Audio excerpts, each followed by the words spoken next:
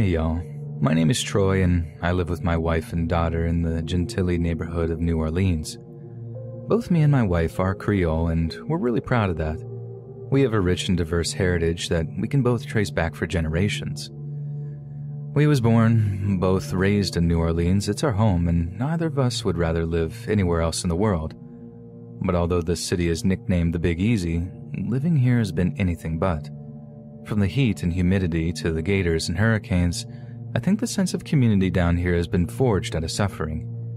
And back in 2005, when we was hit by Hurricane Katrina, boy did we suffer. So back in 2005, my family was living in this sturdy red brick two-story here in Gentilly. I guess it's my fault that we went through what we did because even after we got the hurricane warnings, it was my decision to keep us there. I mean, we had it for at least four or five years at that time and never once had it flooded before. No matter how crazy the storms got. On top of that, the roof had an almost an inch of waterproof plywood underneath it, and I laid all the shingle with my own two hands. I was proud of my work too, put a lot of time into it. Maybe it was my pride getting in the way, but I reckon we'd be alright. And at first, we were alright. My wife and I figured it was just another regular old hurricane, if you can call them that. But then we got the news that the levees had broke, and only then did we realize just what we was in for. The water came in fast, real fast. It flowed down the street we lived on like a river and leaked into our house wherever it could. We grabbed all kinds of things we didn't want to lose from the ground floor and then headed upstairs to safety. Somehow I got it into my head that it would just stop there, but I remember how scared my wife got as the water started climbing the stairs step by step. We watched them disappear one by one until, not long after, it was soaking into the carpet right there on the second floor. The house had never flooded before, not even once. And then there we were, feeling like we had no more than an hour before the entire place would be underwater. Our daughter was real young at the time, too, only just out of diapers. She can imagine how scared we was and how her crying made everything so much more tense. That's when all the power went out. Me and my wife saw this big flash of light outside, along with hearing these scary sounding sparks from outside, but it wasn't lightning. It was from the transformer down the block as it shorted out and gave up. After that, we were in darkness. I was hauling as many of my valuables and essentials as I could into the attic of our house, while my wife tried to keep the baby calm. She was hushing her, singing her little songs, but the baby was wailing something fierce. She knew something was badly wrong, and she wasn't too proud to show it. By the time it was up to our waists on the second floor, we were all really starting to panic. But suddenly, it just sort of stopped. We wasn't sure it had at first, I just figured it had slowed down but was still rising. But sure enough, it had, I swear I could have danced for joy. Sure, almost the house was ruined, but as long as the water stayed just there, we wouldn't drown, and to me, that was something worth celebrating. It was about midnight when this water stopped rising, and we were in total darkness, only able to see by flashlight. Our bedroom had a balcony on it, so I headed out there to get a look at the street outside. It was like a river out there, just all this rushing water flowing down the street, and it was filthy. It had this oily black layer on the surface, and trash was everywhere. All kinds of things floated past me. Anything that could float out of people's houses was just bobbing on the surface, it was a vision of utter destruction. But I'll never forget the noises coming from other people's houses. There was all this banging sounds coming from the people's roofs, where they were trying to break out of their attics. It was haunting. Like all these houses had been turned into coffins, and the people inside had been buried alive. Just this horrible boom, boom, boom that echoed all around our neighborhood. And you couldn't tell exactly where it was coming from the water seemed to create these echoes or something, sending the sounds every which way until it seemed like the entire city was all playing drums at the same time. I'll never forget what that sounded like. I told my wife to take the kid up into the attic to try and get some sleep, but I'm not sure she slept a wink that night. Around noon the next day, a boat full of guys wearing uniforms of some kind came along and hitched themselves to our balcony railings. I thought we were saved, that everything after that would be okay. They drove that boat all the way to a nearby overpass where they'd already ferried about half the neighborhood.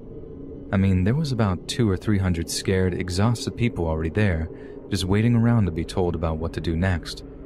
But once we got there, we realized how bad the situation was.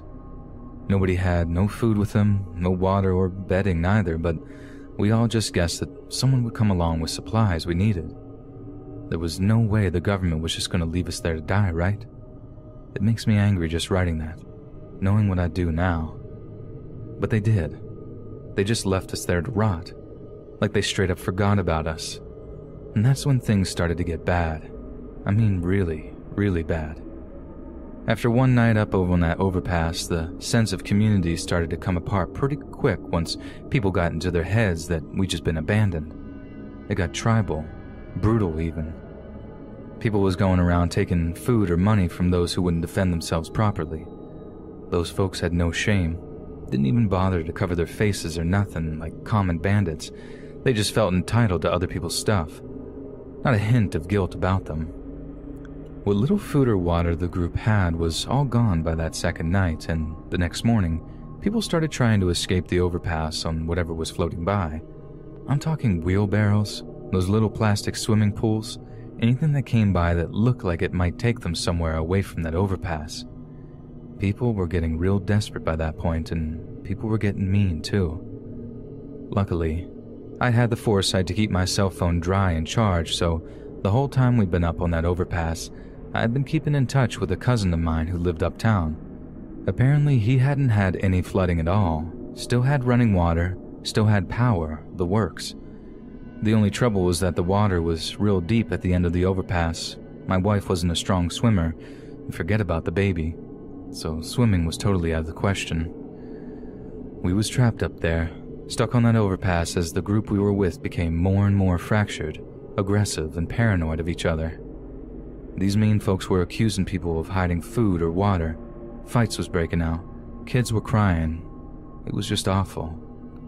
The third morning we was up there, something terrible happened. Some kid is messing around in the overpass railings, and I'm watching, wondering where this kid's parents are to stop him doing something so dumb. Then the kid just slips. People screamed and ran to the edge, and so did I. It must have been a 50 or 60 foot drop into the water. I mean, it was a long way. We were expecting this kid to resurface so we can tell him where to swim to, but no one comes up. He just disappears under the water, and not a soul did anything to try and help. I only realized later that the water wasn't even all that deep and the speed the kid fell, he would have smashed into the concrete under the water, maybe even head first from the way he fell. We watched a kid die that morning, and people were so hungry, thirsty, and tired that they almost acted like it didn't mean a thing. It was then that I decided that I had to get my family out of there before things got worse. And that's when I had an idea. You see, there was this guy on the other side of the overpass from us that had been sleeping on this inflatable pool lounger thing the bandits in the group had tried to take it off of him at one point, and he had fought them off, something fierce, but I figured if I had asked him real nice and told him about my baby, that he might just give it to me so we could get out of there. I walked across the group to him, and he gives me this look like, leave me alone, but I start explaining about my kid, how she hasn't had no food or water in God knows how long, and that if she didn't get some soon, she might die. He looks like he doesn't believe me until I point across the overpass to where they were sitting. Then, the look on his face just softens and he gives me that pool lounger without a word, just straight up gives it to me. So, as discreetly as I can, as not to let the bandits see us leaving, I take my family down to the water's edge and put them on the pool lounger. I start wading out, and before long, I'm up to my neck in the filthy floodwater. My wife and kid are whimpering and crying, wanting to go back to the overpass because they were so scared, but I told them that wasn't happening. That was getting to be a real bad scene up there, and I wasn't going to be around when it imploded. After about two or three hours of pushing that pool lounger in the direction of uptown, I'm exhausted, and our pace has slowed down a whole lot. All of a sudden, I feel the lounger snag on something in the water. Now, you gotta appreciate that because it was so dirty and oily, neither me or my wife could really see what it was. Like I said, I was incredibly tired, So I asked my wife to try and move it out of the way, but when she does, the thing rolls over in the water, and we actually see what it is. It was a dead guy. This old dude who probably couldn't swim so good, and he looked absolutely horrifying. His eyes were all milky white, his mouth was wide open and full of water, and his face was all swollen and purple. I mean, he looked like a straight up monster, and my wife and kids started hollering up a storm on the lounger, begging me to get us out of there. I had to physically move this dead body out of the way of the lounger, grabbing onto the dead guy's arm and feeling it squish in my hand as I dragged him away. The smell off of the body was horrific, and I was gagging and retching while my wife was hysterical on the lounger. I had to yell for her to calm down, screaming at her to get her head straight. I never yell at my wife, but I was just terrified she'd have a panic attack or something and fall off the lounger with our baby in her arms. But she does, for the sake of our baby, she starts breathing right, and about an hour or so later, the water starts shrinking a little, and we finally make it to my cousin's place. We stayed there for about a week, living off my cousin's generosity until we could finally get evacuated out to a FEMA camp out in North Carolina. They was real nice to us out there, but I think a lot of folks just felt bad that we'd been left alone for so long. And I hate to get political about this, but the whole experience changed the way I think about the government. I get that no one expected Katrina to be that bad. I do. I was just as surprised as anyone that the levees broke after being so good for so long, but what are we paying taxes for if they ain't going to use it to help us when we need it? We pay them so they can look after us, not all the time, but sure during an emergency like that. I don't think it was a racial thing like a lot of people try to make it out. Where we lived in Gentilly, there was all sorts of folks living there black folks, white folks, Latin folks, and we all got abandoned just like everybody else did. I just hope that we learned enough from that whole horrible experience to be able to deal with it better next time something like that happens. And I pray that we do, because I'm not sure New Orleans could survive something like that again. As much as I love the place, Katrina showed me something. The community is fragile and it don't take much for it to unravel.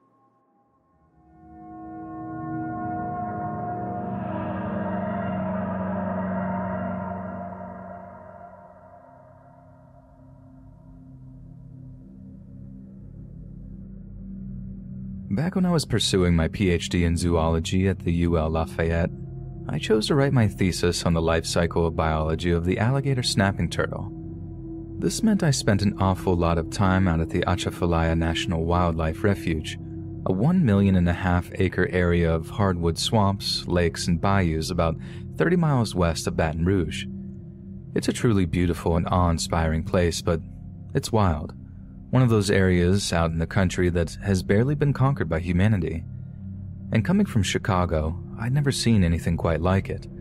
But as much as I had come to love Atchafalaya, I had one of the worst experiences of my entire life whilst lost in the swamps there, an incident so intensely terrifying that I had to put my studies on pause for a matter of months in order to recover. I've decided to write down what I went through as a form of cognitive behavioral therapy in the hopes that it will help me deal with some of the unresolved traumas that followed me out of the swamps. Whether or not it will actually help, I can't tell just yet, but I sincerely hope it does, as frankly, I've been unable to be completely happy or content in myself since it happened. So without further ado, this is my story.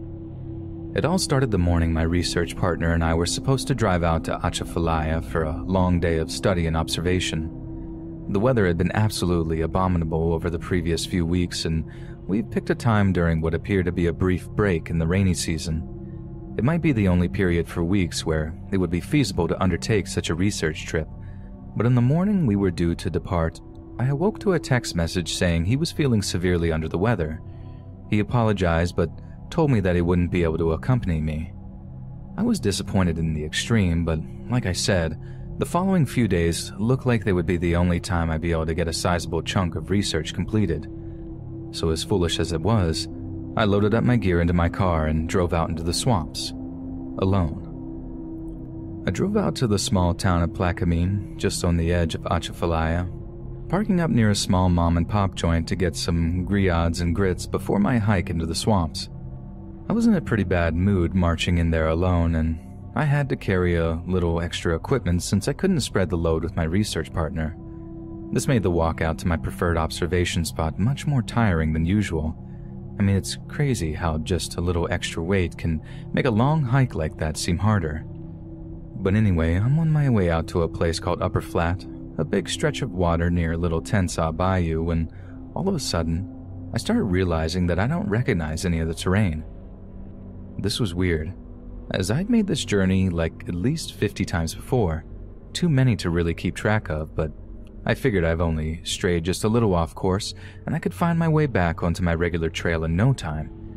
It was just a case of finding out which direction I'd move off in and making the appropriate course correction. Only when I get my compass out, I see the little needle spinning around wildly, like whirling around in a circle like it was being propelled by something. I give it a little tap, shaking it up, but it carries on doing exactly the same thing. It's not like it was a cheap compass either. It was a Suunto KB14, and there's some of the best compasses on the market. That one in particular set me back almost 200 bucks, so I fall back on the compass on my iPhone, which is even less reliable but works off a GPS as opposed to the Earth's natural magnetic forces. But again, not only does it refuse to calibrate, but I realize I have absolutely no bars on my phone either. That was definitely not normal. The cell reception isn't the best out there, but I always get something, even if it's just a single bar to send texts.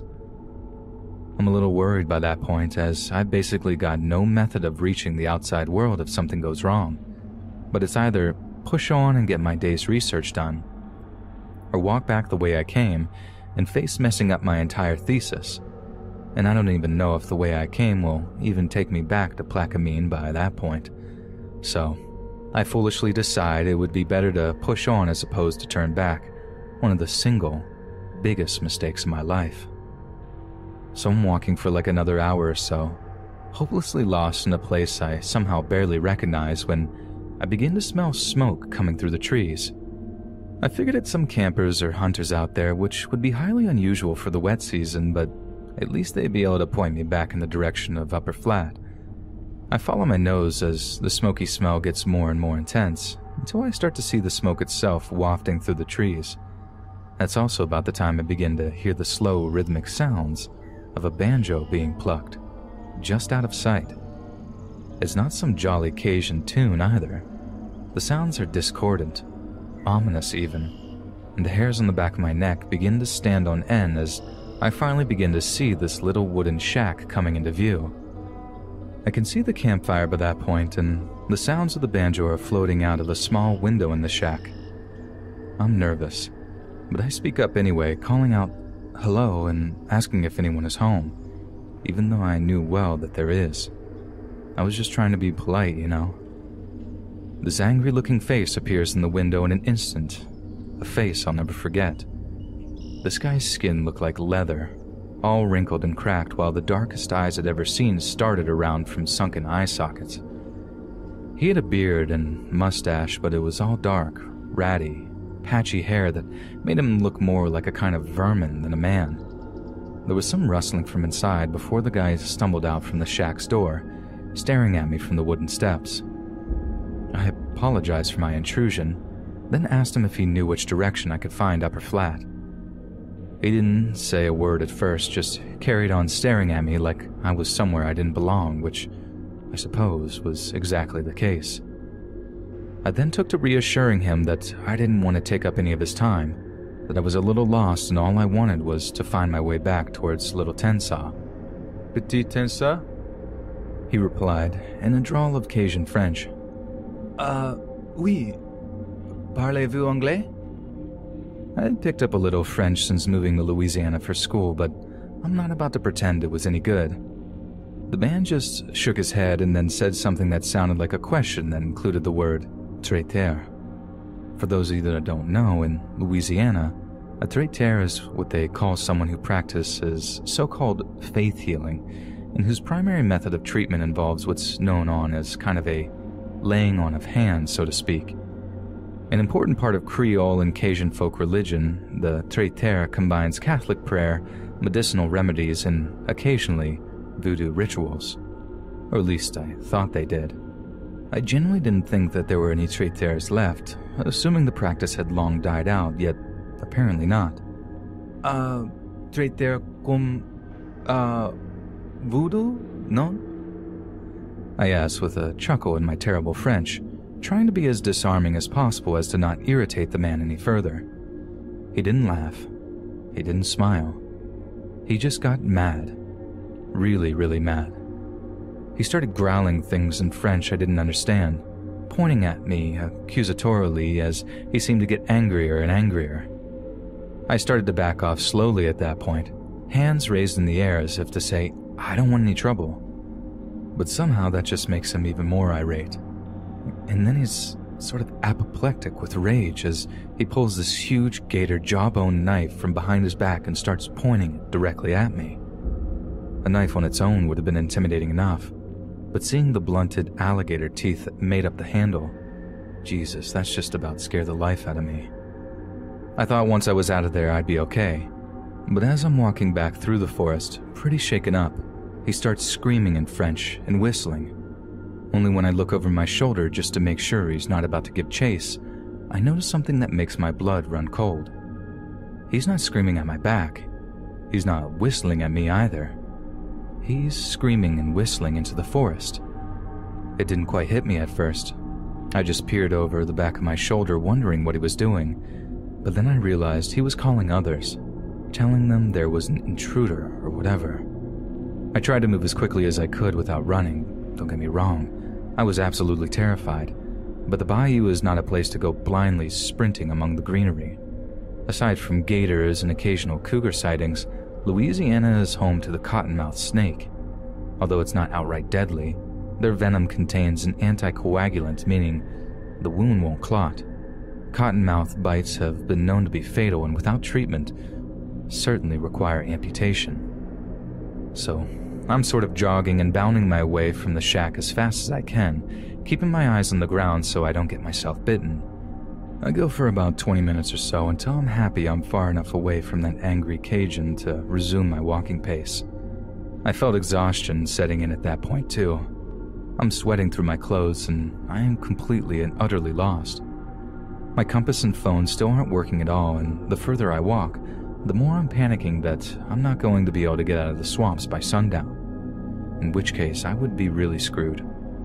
But just as I'm starting to feel relatively safe, I hear something like a twig snapping behind me before I get this horrible feeling in my gut like someone is actually following me.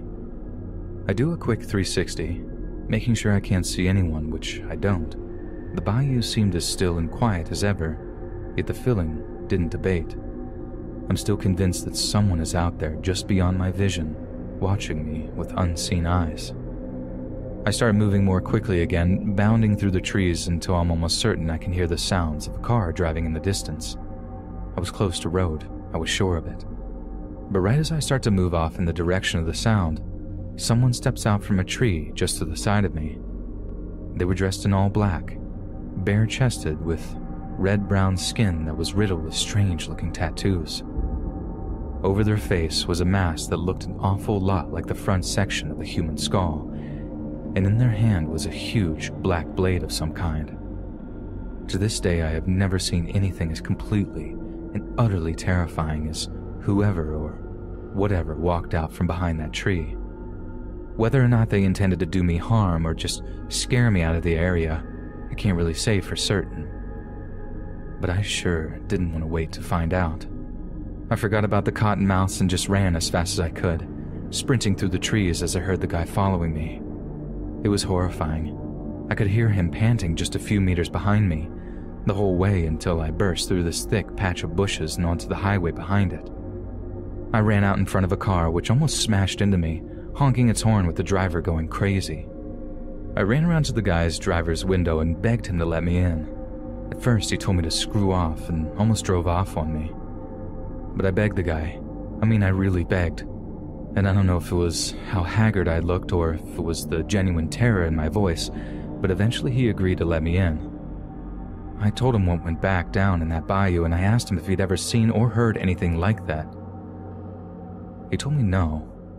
but also mentioned that he knew way better than to be walking around the bayou on his own like that, and that I was an idiot for doing it.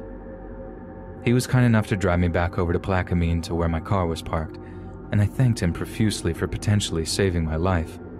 I offered him some gas money, but he told me no, that there was no way he was about to take money off of me for just doing the right thing. That's something I never forgot about Louisiana. Just how kind and generous people could be. How the whole thing about Southern hospitality was very, very true. But I've also never forgotten about that man in the bone mask.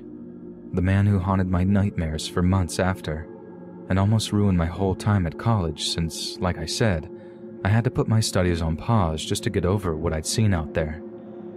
So please, don't ever go walking into the bayous of Louisiana alone, because there are people out there that are seriously averse to the intrusion of outsiders.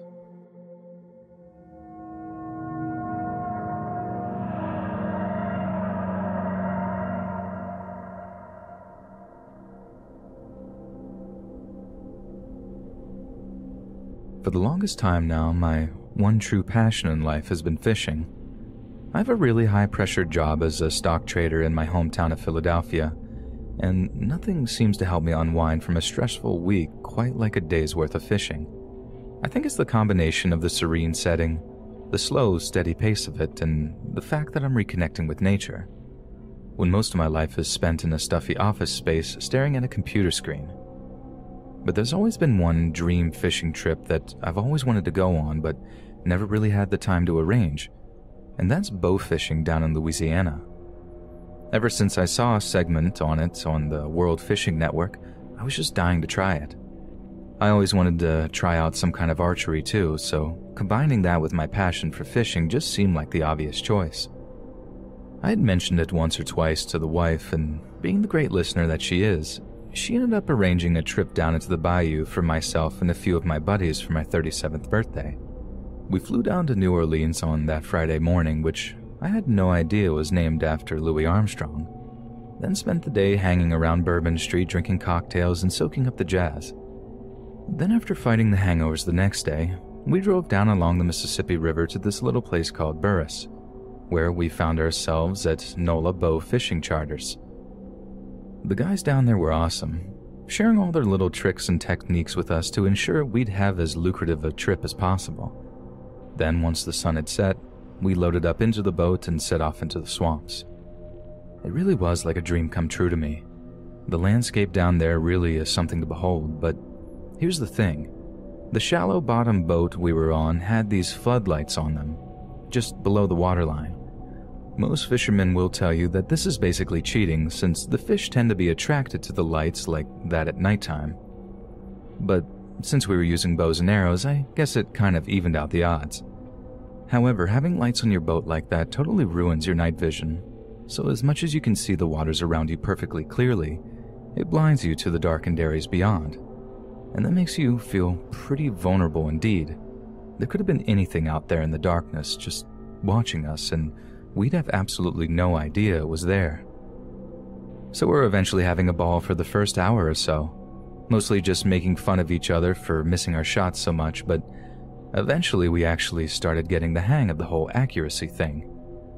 We're pulling in all kinds of black drums, redfish, and flounder, which are absolutely delicious, by the way. But I couldn't see any of the one fish I wanted to shoot, and that was an alligator gar. I'd had my heart set on getting my hands on a big 10 footer to show the guys back at the office, and I was worried the entire trip might pass before I got a chance to shoot one. But eventually, one of my buddies is looking over the side of the boat, into the brightly lit but murky waters, when, when he calls out to me that he sees this big old gar hiding among some reeds just a few feet away. He knew I was after one, as was everyone, so everyone got out of the birthday boy's way so I could get a clear shot on it. So there I was, right up on the edge of the boat with my bow and arrow in hand, trying to steady myself to get a good aim on this gar. God, this thing was huge. I mean, it was easily a 10 footer. The same exact kind of monster that I've been dreaming of getting my hands on, and I really had to regulate my breathing to keep my hands from shaking too much. Only just as I start to get ready to aim on the thing, and I'm about to fire the arrow in the water, it starts to slowly creep further away from the boat, almost like the thing knew I had my eyes on it. But I wasn't about to let it get away, and as dumb as this was, I started leaning over the edge of the boat so not to lose it. That's when I lost my balance. I started wobbling, tipping over the side of the boat before my buddies could reach out to grab me and reel me in. Bow in hand, I crashed into the murky waters head first, getting absolutely soaked in the process. I can hear the guys in the boat laughing before I can even resurface, and when I finally do, I gotta admit, I was laughing too. But as I look up from the water, they don't look so cheerful anymore. They're all just looking behind me, staring at something with these looks of terror on their faces. I'm all like, What? What's the problem? Before I look behind me, seeing this pair of glassy eyes glowing in the lights of the boat just before they disappear under the water. It was a gator, and it was huge. I start scrambling to get back on the boat, trying and failing to scale the side of it before the thing got me. All my buddies rush to the side to try and grab me, but the bow fishing instructor rushes to the opposite side, grabbing one of two of my friends and imploring them to do the same. At least we tip the whole thing over and all end up in the water. Just as they get a grip on me and start dragging me upwards, I feel like intense pressure on my right boot. It was horrible. I just started screaming that it's got me, it's got me over and over, feeling my leg beginning to stretch from the guys dragging me up and the gator trying to drag me down. Then suddenly, I'm free, and the guys are able to pull me back up into the boat. But that didn't bring me any relief, as in the moment, all I can think is how the gator had bitten my foot off. There was no pain, but I've heard in those adrenaline fueled moments you don't feel the massive injury that's been inflicted on you. I'm scrambling around the boat, trying to get a look at my leg, half expecting to see a missing foot and blood pouring out the bottom of the boat. But to my instant relief, all I see is a soaking wet sock covering my still attached foot. The relief, the pure relief I felt in that moment, I can hardly put into words. And it didn't take me all that long to figure out that a hangover had basically saved my life. Since I was feeling so rough that morning, I hadn't bothered to tie my boots up all that tight, giving them enough slack to allow the gator to straight up pull it off my foot. It was without a doubt the single most terrifying moment of my entire life. Seeing that thing's eyes practically glowing in the floodlights of the boat put the absolute fear of God into me, and I know how lucky I am that I was able to walk away from a situation with all my limbs still attached. I could just as easily bled to death lying on the floor of that boat, thousands of miles away from my wife and kids while my buddies looked on helplessly. We took a fair amount out of the swamps that night, and I suppose it was only right that the swamps took something back. I didn't manage to catch the gar that I've been lusting after in the end, but that was okay by me, I guess. I'm just quick to remind myself that there are real life monsters out there, things that look like they're from a land before time, just watching and waiting for idiots like me to slip up, figuratively, or in my case, literally.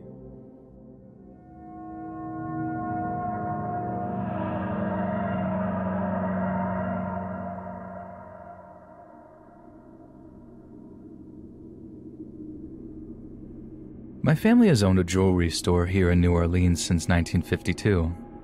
My grandfather opened it up after spending most of his life working on a farm outside of Baton Rouge, having saved up for years to be able to afford the lease. He haggled with pawn shops and thrift stores, building up a fine collection of chains, brooches, and rings that he could turn a profit on.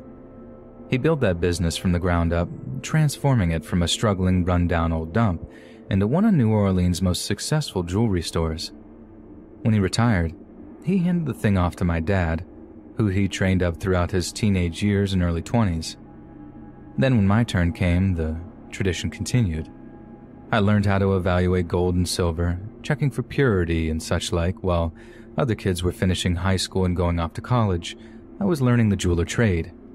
More than 50 years of hard work got poured into that place, three generations of Louisiana blood, and we were all extremely proud of it. But over the course of about 48 hours in August 2005, we almost lost everything when Hurricane Katrina hit the city. And, as it turned out, the actual hurricane was the least of our worries. Fortunately for my family, the suburb of New Orleans that we lived in at the time was just above the waterline, so we didn't get much in the way of flooding out where we lived. Sure, the winds and the rain were pretty scary, but I didn't start to really worry until I heard about all the looting going on downtown and how there was absolutely nothing in the way of law enforcement. I couldn't just sit there and watch it happen on the news, so I got in my car and headed towards downtown with my pistol in the passenger seat. When I reached the area where the water started to accumulate, I parked up my car, got out, and began to slosh through the floodwater towards the street my store is on. It was horrible seeing the city I was raised in having been so utterly destroyed, and it didn't take long before I started to see evidence of the looting. I saw a guy with about 10 pairs of jeans slung over his shoulder, wading through the water about a hundred meters or so ahead of me. I didn't say a thing, not because I wasn't outraged, but because he held a small revolver up high, just letting everyone know that he wasn't about to be stopped. I reached my store and thank God that it hadn't been broken into, but the inside was almost totally wrecked. I set about collecting up every valuable item that I could, intended to take it all up into the safe of the second floor where hopefully it would be safe from any looters that came by. But right as I was in the middle of doing so, I heard the sound of a boat engine just outside, along with a bunch of angry sounding voices. As soon as I turned around, I saw a masked man pointing a rifle at me through the wrought iron gating that I used to lock up my store. He screamed at me to drop the pistol, barking at me that he'd shoot me dead if I didn't comply. I knew if I did, that'd be the end of my store, but he started counting down from five like he was going to pull the trigger when he got to zero. So I did. I dropped my gun into the water and watched as what appeared to be a well organized team of looters wrenched open the old iron gates and a crowbar and proceeded to break into my store. They were well armed, well equipped, and all of them had body armor on too, like they'd seen the destruction and the chaos and just decided to take full advantage of it all. It terrified me that predators like that seemed to walk among us. One had a pistol to my head as the rest commenced to smashing the glass cabinets and emptying the contents in the plastic bags. I had to watch while they pretty much emptied the entire store. But even when they'd taken almost everything, they weren't satisfied. The guy with a pistol on my head started demanding I tell him where the rest was, that he knew I had a bunch more jewelry stashed away somewhere, along with some cash. He was right, but I lied and told him they emptied me out. That's when he started dunking my head under the water for longer and longer periods of time, telling me he'd sooner drown me than walk away at that point. It was pure torture, I felt like I was going to black out, so, in the end, I just told him about the safe upstairs. They dragged me onto the second floor and held that gun to my head as they made me unlock the safe, then emptied the entire thing into plastic bags that they were carrying. Almost five grand worth of cash and jewels were gone, just like that. Then, as quickly as they had arrived, they left, having completely emptied me out.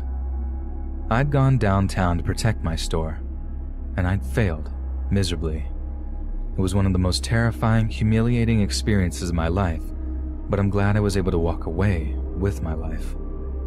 It took a while before the store was up and running again. I had to fight with insurance companies who seemed unwilling to pay out, some claiming an act of God or some other nonsense. But in the end, we didn't lose the store entirely and we're open for business again. Although there's not a day that goes by that I don't see that guy's face I remember how that floodwater tasted when that evil SOB almost drowned me in my own store.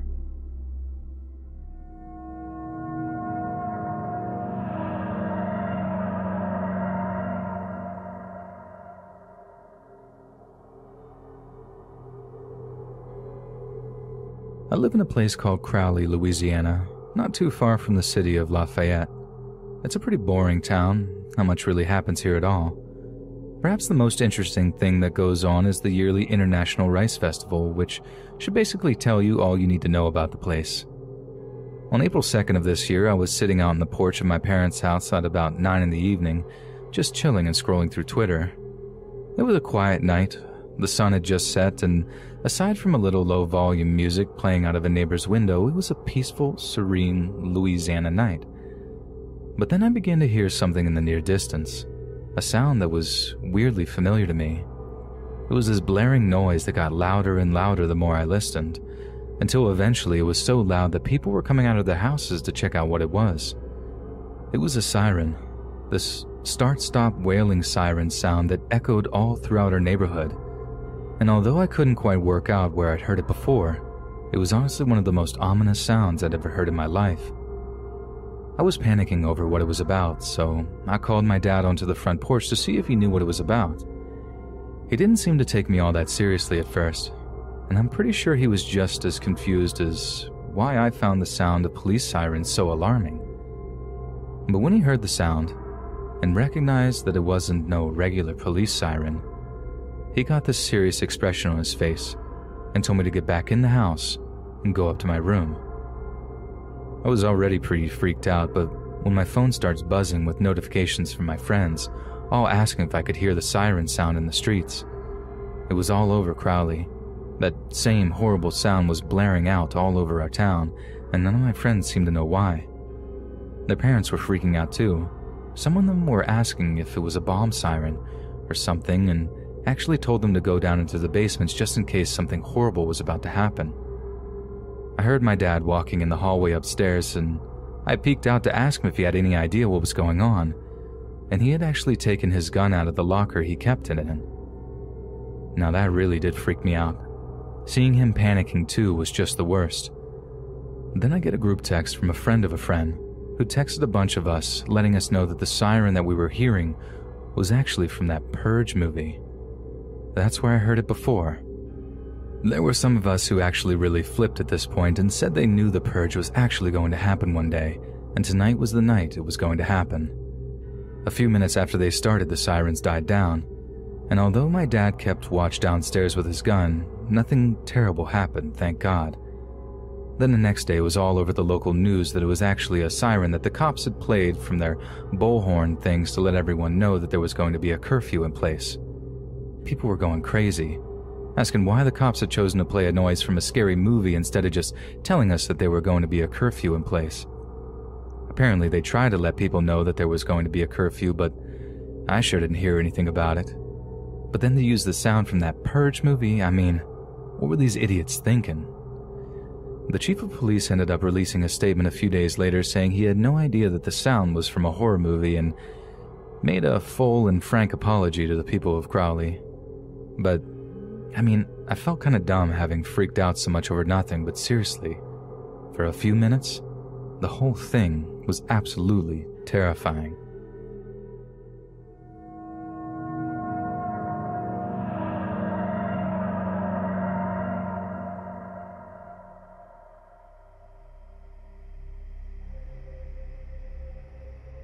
This right here is a true story.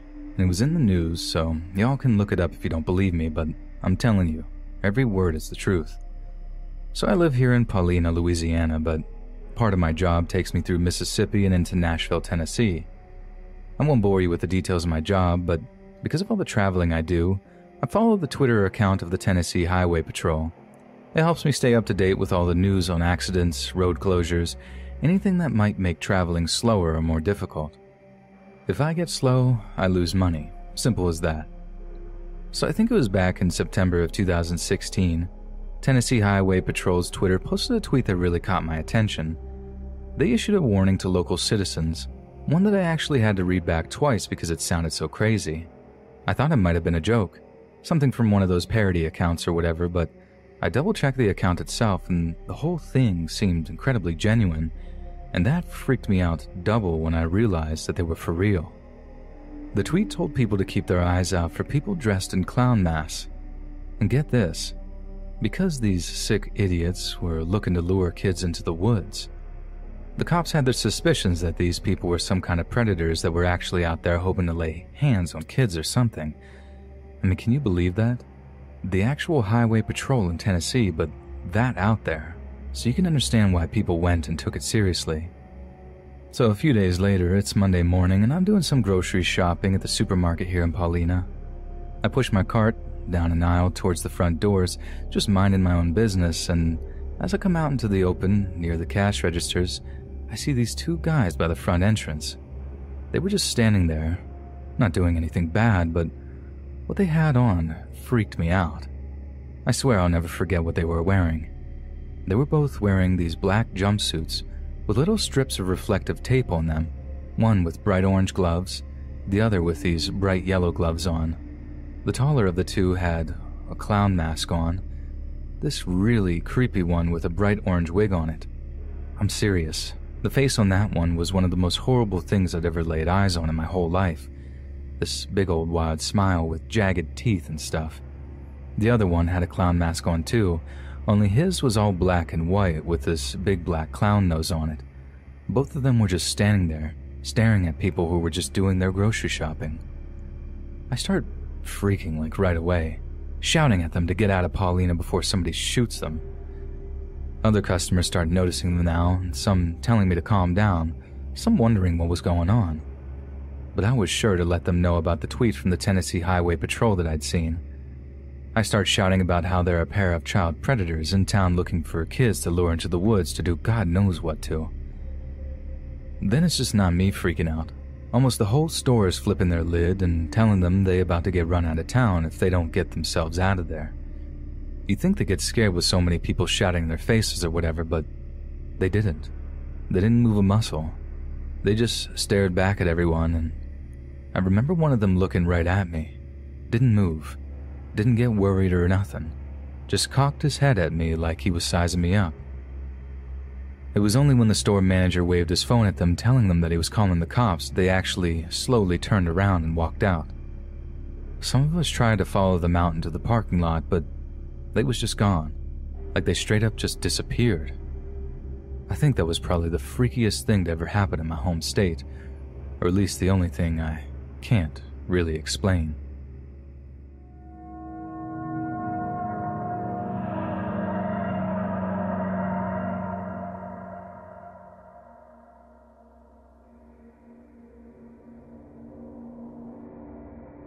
I believe it was the summer before I started high school. My mom's cleaning company was short a maid or two. She figured it made more sense to make me work for my money rather than just hand over a bit every time I asked. Maybe she thought it would teach me the value of a dollar. Not sure. Whatever her motivations, I was hired to cover the phones. This was a test to see if I could handle the workload. I must have passed because I was moved over to cleaning once the school year began. Five days a week after school and all day Saturdays, I followed her and the other girls around town cleaning people's homes and offices. This routine continued for four years of high school and college. At the end of it all, I had a business degree and a 50% piece in the company. Another 10 years would pass, and as mom would step further away from the day to day running of the operations, I would take on more responsibility. Until one day when she handed me her keys and wished me good luck. The business became mine, and with it, all its headaches and heartaches. I never completely stopped going out on jobs. The work kept me fit and in good standing with my clients. If I told you I enjoyed the actual job, I'd definitely be lying. However, by the time I left high school, I'd become almost disconnected from it. After 20 years of cleaning toilets and kitchens, I figured I'd seen it all and nothing could ever get to me. That was until the call for the Pearson job. The man who called sounded like a kind and amiable old man, if not a bit spacey. It took a moment or two for him to get to his point, and it sounded like a run of the mill house cleaning gig. What I saw when I arrived sticks with me to this day. I was met at the door by the old gentleman and led to a bedroom. The acrid scent coming from the room punched me in the gut and caused me to retch. While fighting the urge, I balked at the horrifying image before me. It appeared as if a tub full of blood had been splattered all about the room. The bed was by far the worst, soaked in an almost purple tinted goo. One wall appeared to have a vast spray of blood and gray matter coating it.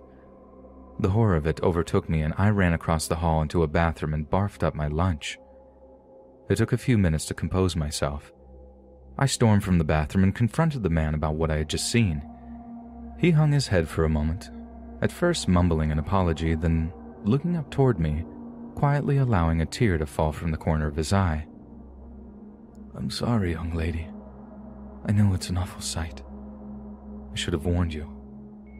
But I was afraid you'd turn around and leave. My grandson. He took a long, ragged breath and began again. My grandson took his life this morning. He did it in that room. I can't even bear to go in there. I know it must be shocking, a shocking sight to see, but I didn't know who else to call. My insurance won't pay for it, and the other, uh, the other company I called, the one the police gave me the card for, they wanted far more than I could afford. I knew my wife had used your company many years ago, and I liked it. I guess, I guess I hoped you could help me. I wasn't sure what to say. I felt horrible for this poor man, but this type of work was way beyond my ability, not to mention my comfort level.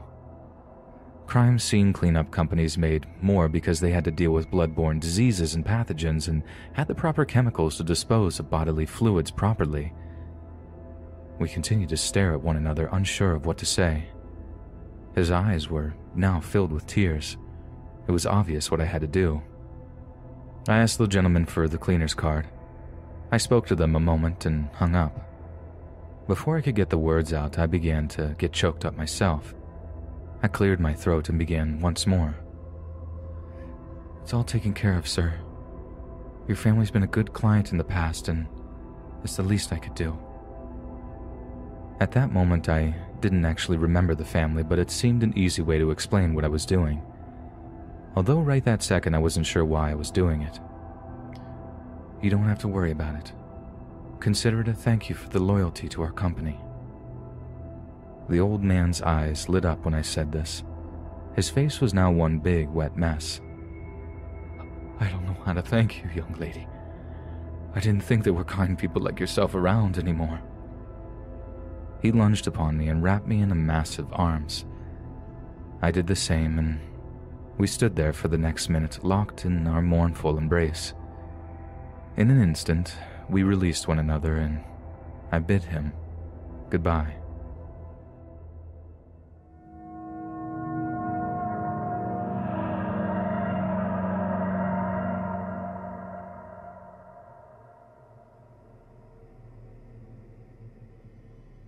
From the day I started my first job, I worked hard with the future in mind. I was determined to give my children a better life than I had. You know, the American dream and all that. When I was fortunate enough to stumble upon my wife and we discussed what we wanted from a marriage, I would discover she had the same future in mind. As we jumped ahead to the arrival of our first child, we quickly learned that between work and taking care of the needs of a newborn, we had zero time to take care of small things like keeping the house clean. We had two choices before us allow a stranger to raise our beautiful daughter or hire a housekeeper. Naturally, we chose the latter and called a maid service. The years passed, and along with the birth of the second child, the housekeepers would come and go, some great, some terrible.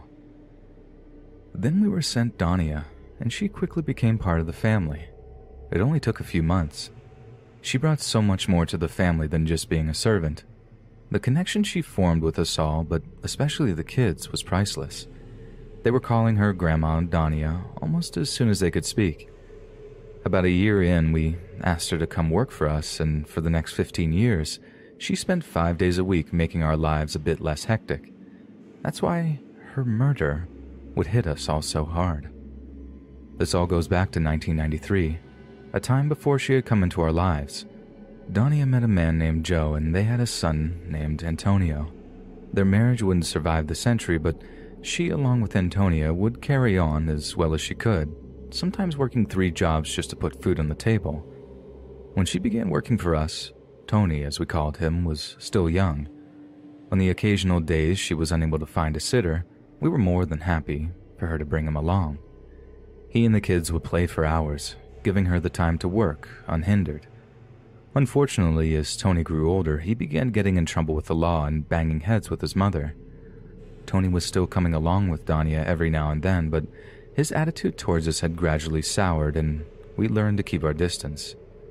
Our lives would be changed forever on a rainy February morning in 2015. I was the last out of the house for a change, and I'd left Dania to do her thing. According to later testimony, Tony had arrived about an hour after I'd left. He was there to ask his mother for a loan, but she refused. He had borrowed almost a thousand dollars in the last few months and had not paid any of that back. An argument soon broke out, and Tony became so angry He pulled a large chef's knife from our knife block and stabbed her multiple times, around 20 to be exact. Once he came to his senses, he fled and went into hiding. Perhaps the most horrible part of the attack was that Danya had not died instantly, but instead probably lived another 10 minutes, left to slowly bleed out on our kitchen floor. Thankfully, it wasn't the kids who discovered her body. Instead, Melina, my wife, came home for lunch and found her. The paramedics were called, but that was just a formality at that point. Tony became the prime suspect almost immediately, and the police worked day and night to track him down. We were left to mourn her loss, a process I myself am still going through. I come to see Danya as a second mother, and her death hit me like a truck. Tony was found eventually and given life without parole. Short of death, it's a sentence I'm happy with, but no matter the time he's given, we're never going to get Grandma Danya back. Life at home was never the same after Danya's death, and once our daughter moved off to college, Melina and I began looking for a new home. For the both of us, no matter where we looked, everything was a reminder of her death. Our one time dream home had become a nightmare, a constant reminder of a young man's selfishness. When we finally found a buyer for the house, we took up residence in a two bedroom condo on the beach. Life continued to drag on for a few more years. However, our son will be leaving for school soon and we'll be free to take the tour of Europe we've been planning for 20 years. We had hoped to bring Danya along, a present for being a loyal and loving member of our household. That is, sadly, no longer possible. Although she may not be able to join us in the flesh, I have no doubt she'll be there in spirit looking down and guiding us just as she had all these years, sharing her love and making our family content and complete.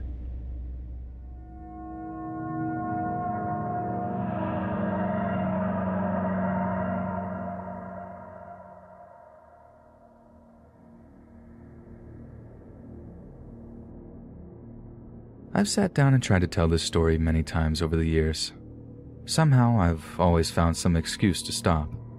I tried to convince myself it was too complex of a matter to explain in written form, but the real truth is that deep down, I'm a coward who's terrified of being punished for what I've done. I'm sending this in anonymously, as that should be a big clue. The story began in 2006. As a family, we'd been well off for several years because of my wife's flourishing vet practice. Up until 1999, I've been in corporate headhunting. I never enjoyed the work and had harbored a dream of going into business for myself. In October, I got the okay from my wife and started taking in jobs. I've been doing work on my off time until then and had converted a spare room into my workshop. Since I was the one at home all day, I was put in charge of replacing our housekeeper. I set up a series of week long interviews and was beginning to lose hope. Then, after lunch on a Thursday, Sylvia arrived. I'll admit she stole my heart from the beginning. Her big brown doe like eyes and innocent bearing blinded me to her lack of experience. In hindsight, I believe she caught on to this and got flirty with me to get the job. I hired her on the spot. The next 12 hours was agonizing. I couldn't think of anything other than her, and I had a sick feeling in the pit of my stomach the entire time. Despite my obvious adoration for Sylvia, I had zero intent on sleeping with her. I love my wife more than life itself, and I couldn't imagine doing anything to hurt her. That's the way it would remain for a long time. Regardless of my intentions, I would eventually give in to my desires. She had continued with her flirting, something at first I saw as harmless. However, as the months passed, it became more brazen and I began fantasizing about her.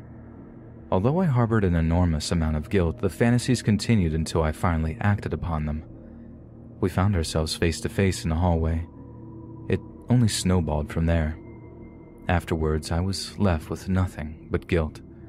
I couldn't look my wife in the face. When we spoke, I felt like I was laughing silently at her, and any attempts to act as if it never happened were thwarted by Sylvia. In her mind, we were now lovers.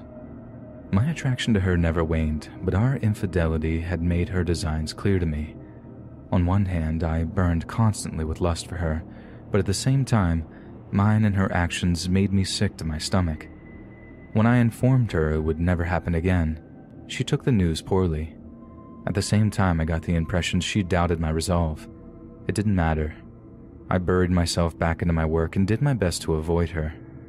This worked out for the most part, but as time went by, I became mired deeper in guilt. I couldn't focus. Nothing took my mind from the wrong I had perpetrated upon my wife. It all came to head one evening before dinner. My wife was especially happy. Her joyful ignorance was eating a hole in me. I no longer cared what became of our marriage and fully expected to be thrown out on my tail.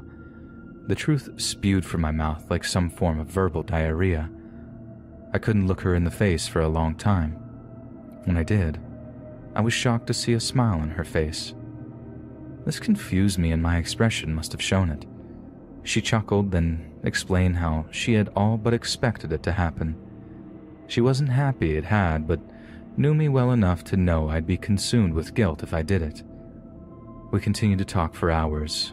By the time the next day dawned, our marriage had become strengthened, stronger than it had been in years. Now we only had one thing left to do. When Sylvia arrived at 8 a.m., we sat her down and explained the situation. We were going to have to let her go. The health of our relationship relied on it. She tried being smug, but her self assured mask eventually slipped and she unloaded on the both of us. I had apparently led her on, tricked her into bed. My wife was also a deceitful cow. Neither of us lashed back at her. She was young, and after all, we'd kind of ambushed her. She finally stormed out of the house with the last of her pay, and we assumed we'd never hear from her again. The wife and I, we'll call her Eve, began our new life together. Part of what had caused us to grow apart were Eve's long hours at work. She decided to bring in another vet to help out, and her and I got to spend a lot more time together. For the first time in years, we tried to learn about one another's dreams and interests. I discovered Eve had long loved foreign films. We spent our evenings watching old Italian and Japanese ones, namely those by Kurosawa. Most of what I saw blew my mind. I told her about my fascination with photography I could tell her enthusiasm for the subject was lacking, but regardless of this, she would assist me in the dark room developing my photos late into the night. I guess I should have expected something would get in the way of our fun. The phone calls started. I answered them in the beginning. Sylvia came across as repentant initially. She apologized for the way she'd acted and asked if we could be friends.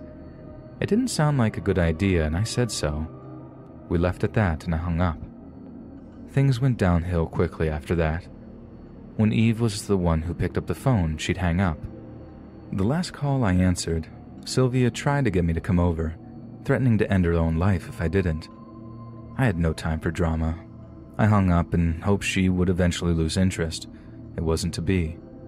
The voice messages began and were shocking in their strangeness. One day she would be saying she was sorry for her behavior. The next, she'd call repeatedly, cursing us only to beg for her job back the next. For the most part, we didn't take anything she said seriously. Then she went too far and began threatening my family. I know where your daughter goes to school. Even if she was full of it, I couldn't take the chance. She had shown over the past months how unstable she was becoming. Even I immediately made drastic changes to our lifestyles. Any pattern we'd had in the past was stopped. Perhaps the most important alteration was to our daughter's school. It may not have been the best time to do so, but her safety was my greatest concern. After having gone through all these safety measures, the phone calls stopped. A month or more passed, and we began to believe the danger was over. All of this activity just happened to coincide with the winter holidays. We celebrated Thanksgiving with my folks, returning home the following day. Eve's parents flew in that Saturday and agreed to look after our daughter so we could shop for her Christmas present. As usual, everything she wanted was impossible to find. We spent most of that day going from store to store. The sun was already beginning to set when we were headed home. I was the one doing the driving. We were about five miles from the house when I noticed a familiar looking hatchback following close behind us. No sooner did I see it, the car began ramming the back of ours. Eve, who had been sleeping in the passenger seat, jolted awake. The car rammed us once more before pulling alongside us. I was horrified to see it was Sylvia driving the car. A wild, crazed look crossed her face and she was screaming. Although I couldn't hear her words, the way she bared her teeth and spit made me shudder with fear. The ramming would continue, only now it was Eve's door taking the brunt of the damage. I did all I could to not lose control. The second contact caused the window to explode all over her face. The shards left tiny cuts on her cheek.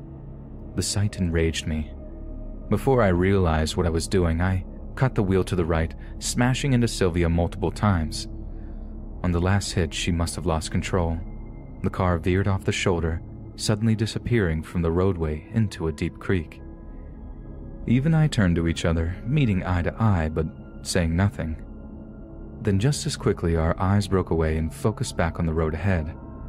No one spoke for the remainder of the journey, and neither of us mentioned what had occurred to Eve's parents.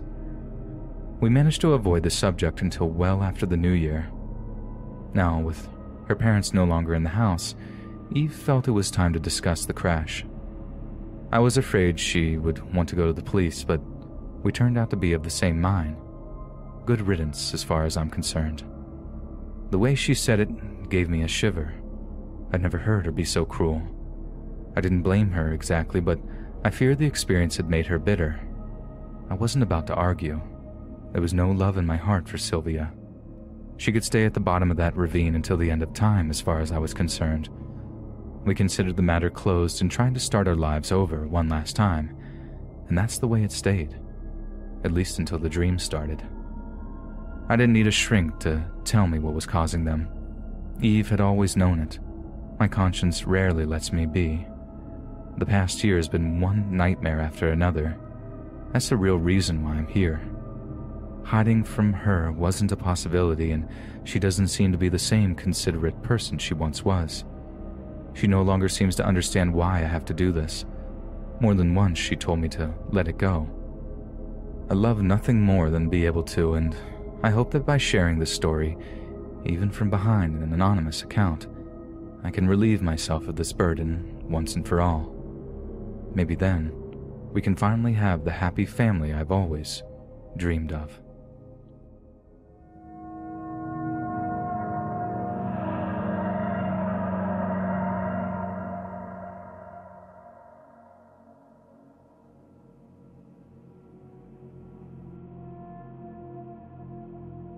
While I wouldn't normally disclose my shortcomings, what happened to me on a business trip to Phoenix needs to be told. In the spring of 2007, I was sent as a representative of our company to Arizona. A convention of sorts, more like a large get together, was being held. The company I worked for provided inks, specialty stationery, assorted other stuff for smaller bookstores across the country. It wasn't my dream job, but the bills got paid and I was able to afford the first new car I'd ever owned. My flight landed late on a Friday, and I spent the remainder of the evening in my room. I had a few beers and ordered a pizza, finally crashing around midnight. I rose with the sun and headed out just after 8 a.m. It wasn't until 11:30 a.m. when I stopped to buy a coffee that I realized that I'd left my cash on the bedside table. I'd thrown it down after paying for my pizza and forgot about it. I'm one of those people that can't stomach putting 650 on a credit card, Besides, my room was only three floors up. I knew it would only take a second. So, I ducked out and headed upstairs. When I arrived at my door, the maid must have just left my room. Her cart was sitting outside my neighbor's door, and the towels that I'd left on the bathroom floor were gone, having been replaced with fresh ones. Also, the trash was empty, and my bed had been made. Strangely, there was no sign of my money anywhere. Maybe I'd knocked it under the bed or something. I looked under every piece of furniture, even in the trash can, but it was nowhere to be found. The idea that the maid may have mistaken it for a tip crossed my mind. I went into the hall and found her where she was doing something with her cart. Speaking in a voice as kind as I could muster, I asked if she had seen any money on my bedside table. I could tell she was unsure of what I was asking and restated my question in Spanish. A slight look of guilt flashed across her face, I thought my suspicions may have been proven correct and she had mistakenly believed it was for her. I felt bad and quickly followed up by saying that I was sorry for creating any misunderstanding. I usually left the maid's tip when I checked out along with a little thank you note. I then explained I'd left it there by mistake and needed it back. Because I felt so guilty, I apologized again. However, instead of laughing it off and apologizing like usual in an awkward situation such as that, she got a disgusted look and cursed me for accusing her of stealing. I knew darn well that she understood me. What she didn't realize was when I mentioned the money, she had touched the pocket on her apron. Most people have some form of tell in their body language. I'd been playing poker since I was a little boy with my father, and he taught me how to recognize them. Nevertheless, I tried one more time to diffuse the tension and explain that I wasn't accusing her of taking it on purpose. I thought maybe she was embarrassed and this caused her to lash out. You don't have to be embarrassed. I'm not going to tell anyone. I ended with a slight chuckle. It did no good, and she began yelling again, thrusting her hands in and out of her pockets. I'd had enough. She'd been given more than one chance to save face and get away without raising my suspicions. Her overreaction to my questions betrayed her guilt to me. I calmly said, If that's the way you want to play this, and headed toward the front desk. I asked to speak with the manager and was invited into his office. As clearly as possible, I explained the situation and my interaction with the maid. We talked with another for the next 20 minutes or so, during which she asked me several questions. At the end of the meeting, he called the maid downstairs and she joined us in his office. He informed her that I had made a complaint that she had stolen $46 of cash from my room. He then asked if she had, and she denied it. She began defending herself, talking about her loyal service to the hotel and its clients the entire time fiddling with her apron pocket, all but confirming my suspicions right there. When she finally stopped, I told the manager that I knew exactly what the money looked like and could prove she had taken it. She turned to me and screwed her face up into a sneer and let out a huff. Before I began, I let her know I derived no pleasure from what I was about to do. Then I began describing the bills two twenties, one $5 bill, especially noteworthy because of the words Kilroy was here written on it with a blue ink pen and a $1 bill with a tear spanning a quarter of the way down the center. I could tell by her expression she was beginning to get concerned. She kept quiet, avoiding any eye contact, just staring at her lap. I took a long breath before finishing my indictment. Oh, and one more thing. Almost 100% positive my money is hidden in her apron. This must have caught her off guard. Her head shot up quickly with a shocked look, only for her to bring it back down quickly when she realized what she'd done. The manager's gaze moved from me to her, her eyes now fixed on her fumbling fingers. Well, is Mr. Wallace correct? She said nothing, acting as if he had never spoken. I sensed his patience was beginning to wear thin. Answer me. The words blasted from his mouth and even caused me to jump slightly. He must have gotten through to her. She jammed her hand into the apron pocket and threw the money at me. I calmly picked up the bills and thanked her. The hotel manager then asked me to return to the lobby while he spoke to her alone. I agreed and took a seat facing the office door. They spoke by themselves for a few minutes before she stormed from the office, crying and walking out the front doors. I assumed he had fired her. Although it's not a result I wanted, I can't pretend to feel sorry for her. The manager then waved me over to his door and confirmed my suspicion. I've terminated her for theft. I just want to tell you once again how truly sorry I am for this. I can assure you this has never happened as long as I've been manager here, and I'm determined it will never happen again. Because of the terrible inconvenience you've been subjected to, I'll be comping your stay and hope this awful event will not prevent you from staying with us in the future. At this point, I'd gone way past caring long ago. I thanked him for his assistance and headed back to my event. In no time, I put it out of my mind and made friends with a group of guys. Once the presentations ended for the day, we all hit the town. After a long dinner, the five of us decided to visit a gentleman's club or two. It was a blast, but by 1:30, I was wasted and looking for a place to lay my head. I had a cab drop me at the hotel and staggered up to my room. The last thing I can remember, I was fumbling with my keycard through foggy eyes. I eventually got the door open, and that was when I was jumped from behind. It really wasn't as much being jumped as getting knocked over the head and pushed into my room. I'm going to be honest here and say I never saw my attacker's face. I was already laying face down on the floor, and since I lost consciousness rather fast, I never got a chance. While I consider myself somewhat lucky for passing out before most of the damage was done, the pain I was left with was just as bad. When I did open my eyes, my attacker had already fled. Turning over was a miserable undertaking. Breathing wasn't much easier. I had to crawl around on the floor to find my phone. In the scuffle, I must have dropped it and it slid under the bed. The pain I felt with every breath told me I probably had a pierced lung. A concussion was almost a given. The beating must have sobered me up. I had no problem telling 911 where I was. The paramedics got me relatively fast, and I had to spend two and a half days in the hospital. Even after being discharged, I nursed several broken ribs and multiple other injuries for another month. If you've been paying attention, it won't take you long to figure out who I believed was responsible. Not that I think this diminutive little woman did the attack herself. She more than likely took her complaint to a male family member. No matter how much it irks me that it happened, I had no proof of her involvement, and that's what I told the police. There's no way I was going to point the finger at someone I barely knew.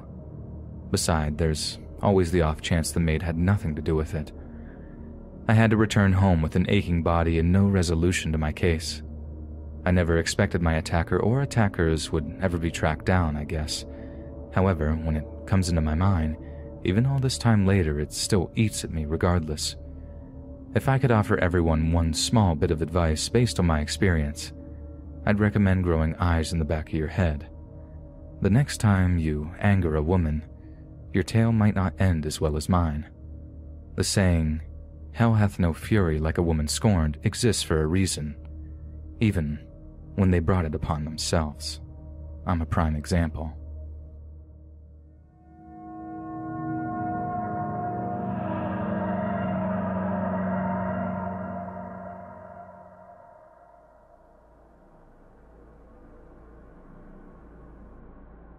I recently left my job at a private hotel in a nearby town.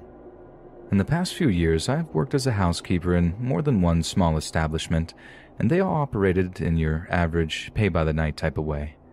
This last place was a little different.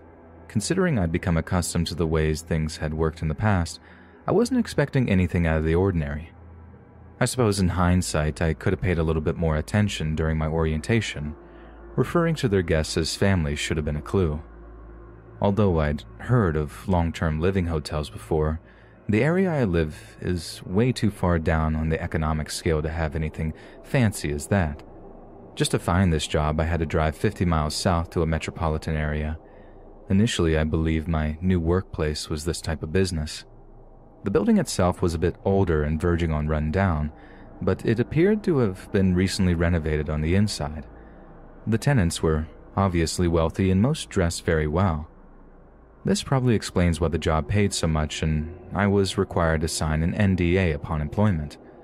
I figured rich and powerful folks always guarded their privacy in such ways, so I didn't bat an eye. However, the longer I worked there, the clearer it became things weren't the way I'd thought. The first clue was the large number of young people coming in and out at all times of the day and night. Despite being accompanied by an adult, I got the impression they weren't with their parents. The poor kids never looked happy to be there, but I always hated visiting family at their age, too. The few times I attempted to say hi, I was ignored and given a nasty look by the adults.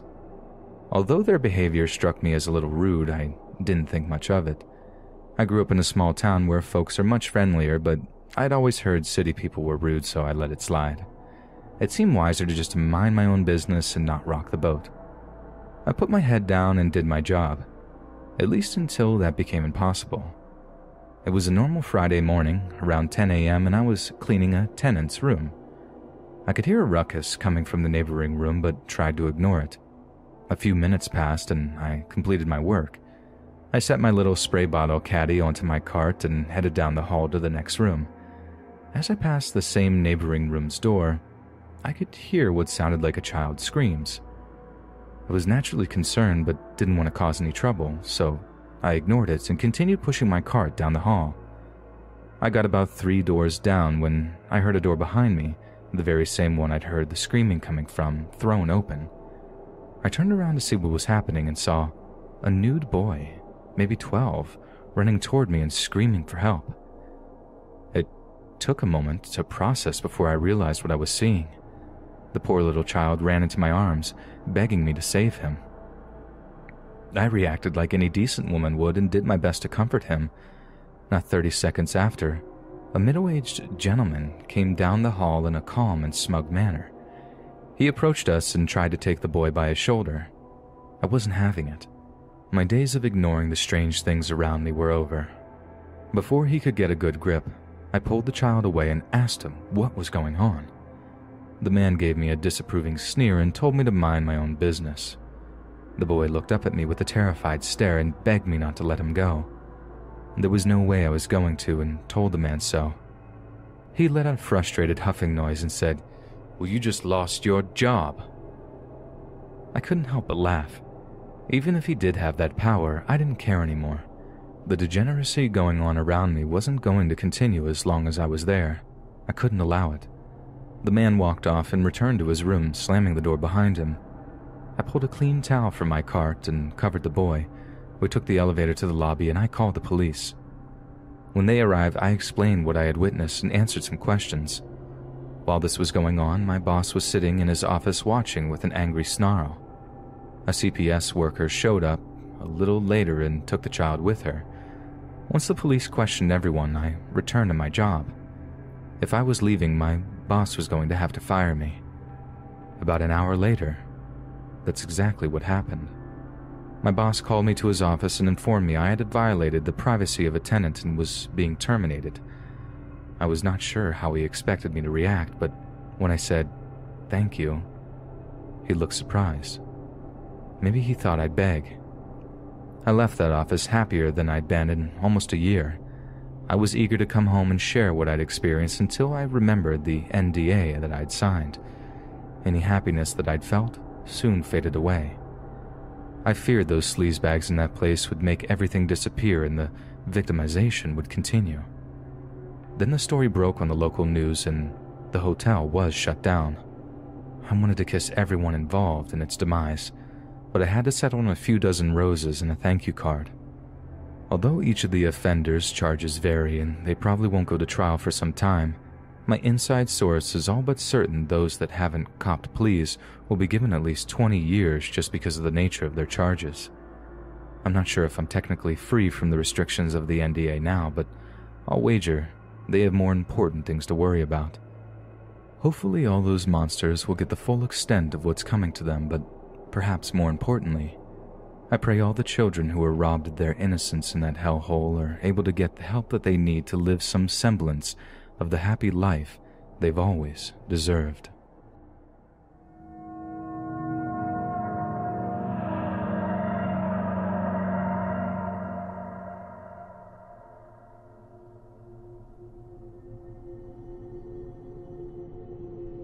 This is something I didn't find out about until a few years ago.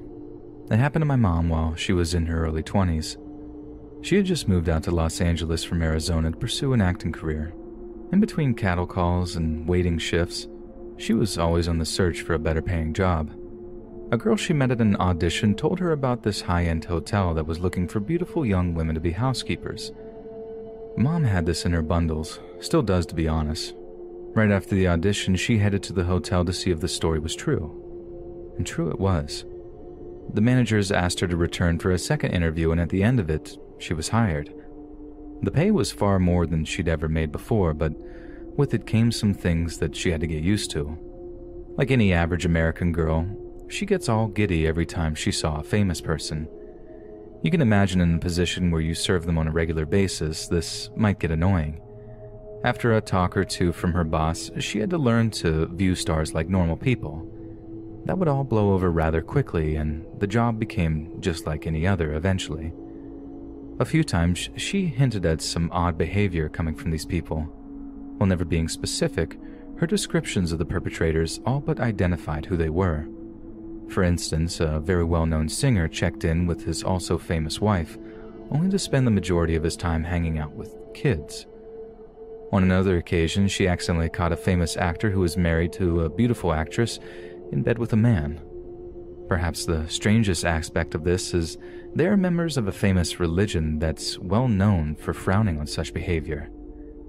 I grew up hearing tons of crazy stories like this.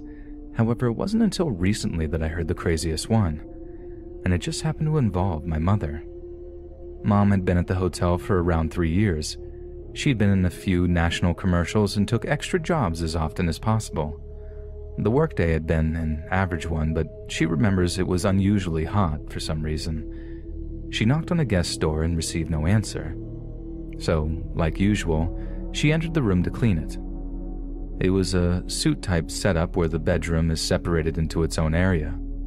Looking around her, nothing seemed strange. The main room was relatively clean, so she moved on to the bedroom. When she opened the door, she got a horrible sight. A woman, still in her nightgown, laid lifeless on the bed. It appeared that she had been strangled. Out of instinct, maybe, Mom rushed into the room to see if she was still breathing. She was leaning over the bed, searching for a pulse, when she was grabbed from behind. The attacker, a heavy set man she didn't recognize, grabbed her by the throat with both hands. He pinned her down to the bed and started choking her. She said this was the moment she realized her life was over. She also remembered the feeling of pressure in her head, like it was about to pop. She lost consciousness much faster than she expected and recalled feeling relieved she wouldn't have to suffer much longer. That's when it went dark. She was shocked to wake up. At first, she thought it was all a dream, somehow caused by the lack of oxygen to her brain. The only problem with this was the pain in her head and the difficulty she had breathing and swallowing. She searched the room for her assailant, but only her and the dead woman remained.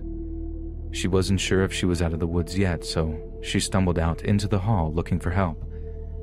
At first, she tried to scream, but a gruff croak was all she could manage. Soon, a guest exited from the elevator and caught sight of her crouching at the end of the hall.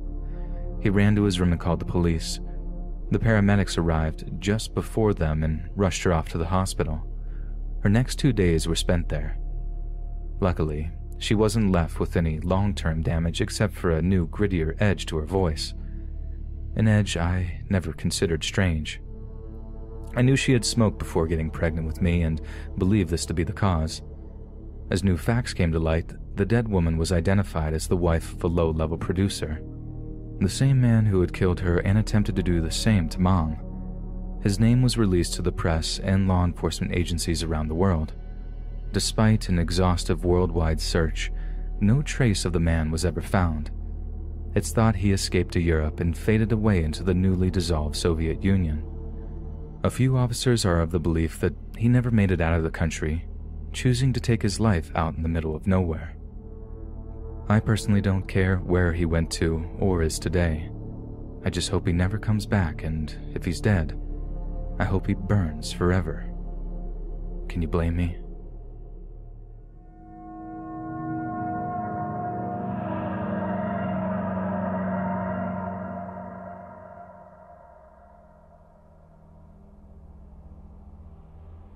High school was when I discovered it. The first time I visited a wealthy friend and saw they had things like maids and personal chefs. I knew right then I wanted to grow up to be rich. The famous part wasn't as important, but I wouldn't turn down the adoration of the public either. Another thing I found around the same time was YouTube. Being able to peer into millions of humans' lives every day intrigued me. I toyed with the idea of starting my own channel for a while, but didn't get around to it. When I discovered that you could make money doing it, I began taking it seriously. The thing that made me get off my butt was when I found out just how much you could make. I created my channel that same day. I then dedicated many hours to watching every video I could find outlining how to become successful. Many of these tips would pay dividends, and then some not so much. Either way, my channel grew into a somewhat successful venture within a couple of years. The checks I would get from AdSense would soon outpace those of my parents. So, what did I do then? I did what every successful YouTuber does and moved to LA. My house was a beautiful place on the beach. After spending a load on furnishing it, I realized I forgot something my fantasy of having a housekeeper. My first call was to a maid service. I told them what I wanted, and two days later, I got a call saying that they had found someone. The woman, a quiet middle aged Latina arrived and got to work. Because of the language barrier, we didn't speak to each other very often. When we did, I got the impression she didn't like me very much. I wasn't sure if this was really the case since I couldn't understand what she was saying much of the time, so I gave her the benefit of the doubt. Things went okay for a month, but when I pointed out that she had missed some dust on a shelf, she had a violent outburst. What I think was cursing coincided with a weird stomping and shaking of her finger. This behavior, of course, scared me and I apologized. The apology seemed to calm her down a little and I gave her the rest of the day off. I didn't want to lose such a great maid, so I decided to keep her around. When she returned, all appeared to be forgiven. She got to work and did a good job as usual. Life went back to being peaceful. We tried to avoid getting each other's way, and nothing happened for almost two months. However, one day I couldn't hold my tongue. After using soap to clean something, she left a bunch of soap suds in the sink. I pointed this out to her and asked her to clean up after herself, that's all. Instead, she just stared at me for a few seconds and started snarling. All of a sudden, she exploded and grabbed a kitchen knife from the block. I made the mistake of not running. She slashed across my cheek and began cursing at me again. Now I ran for my life. She was close behind me when I ran out the back door. I made my way toward the beach. No one was around to help me, so I waded in the water. I was hoping she couldn't swim. The salt water stung my face a lot. I hadn't gotten out very far when she tripped and fell. This looked like a good opportunity. Maybe she'd drown. I didn't actually care, and the surf began carrying her out. She tried to doggy paddle, but wasn't doing very well. It looked like my chance to get away, and I waded back onto shore.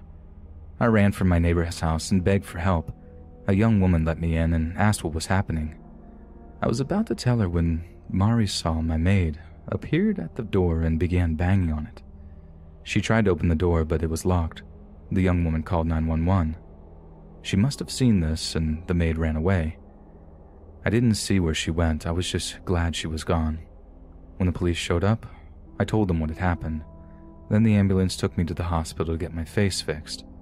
I got stitches at first, then a few days later went in for actual reconstructive surgery.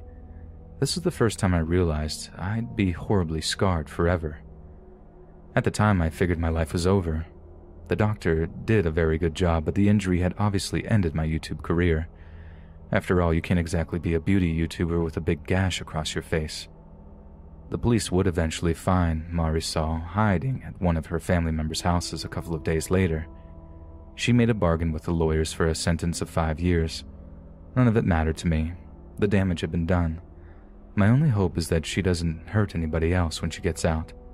Since I didn't have a way to make money anymore, I packed up my things and moved back home. Now I spend my days watching other YouTubers and coming up with ideas for new money making enterprises. Until I can afford to move back out on my own, I'll have to wait on getting another maid. For now, my mom will have to do.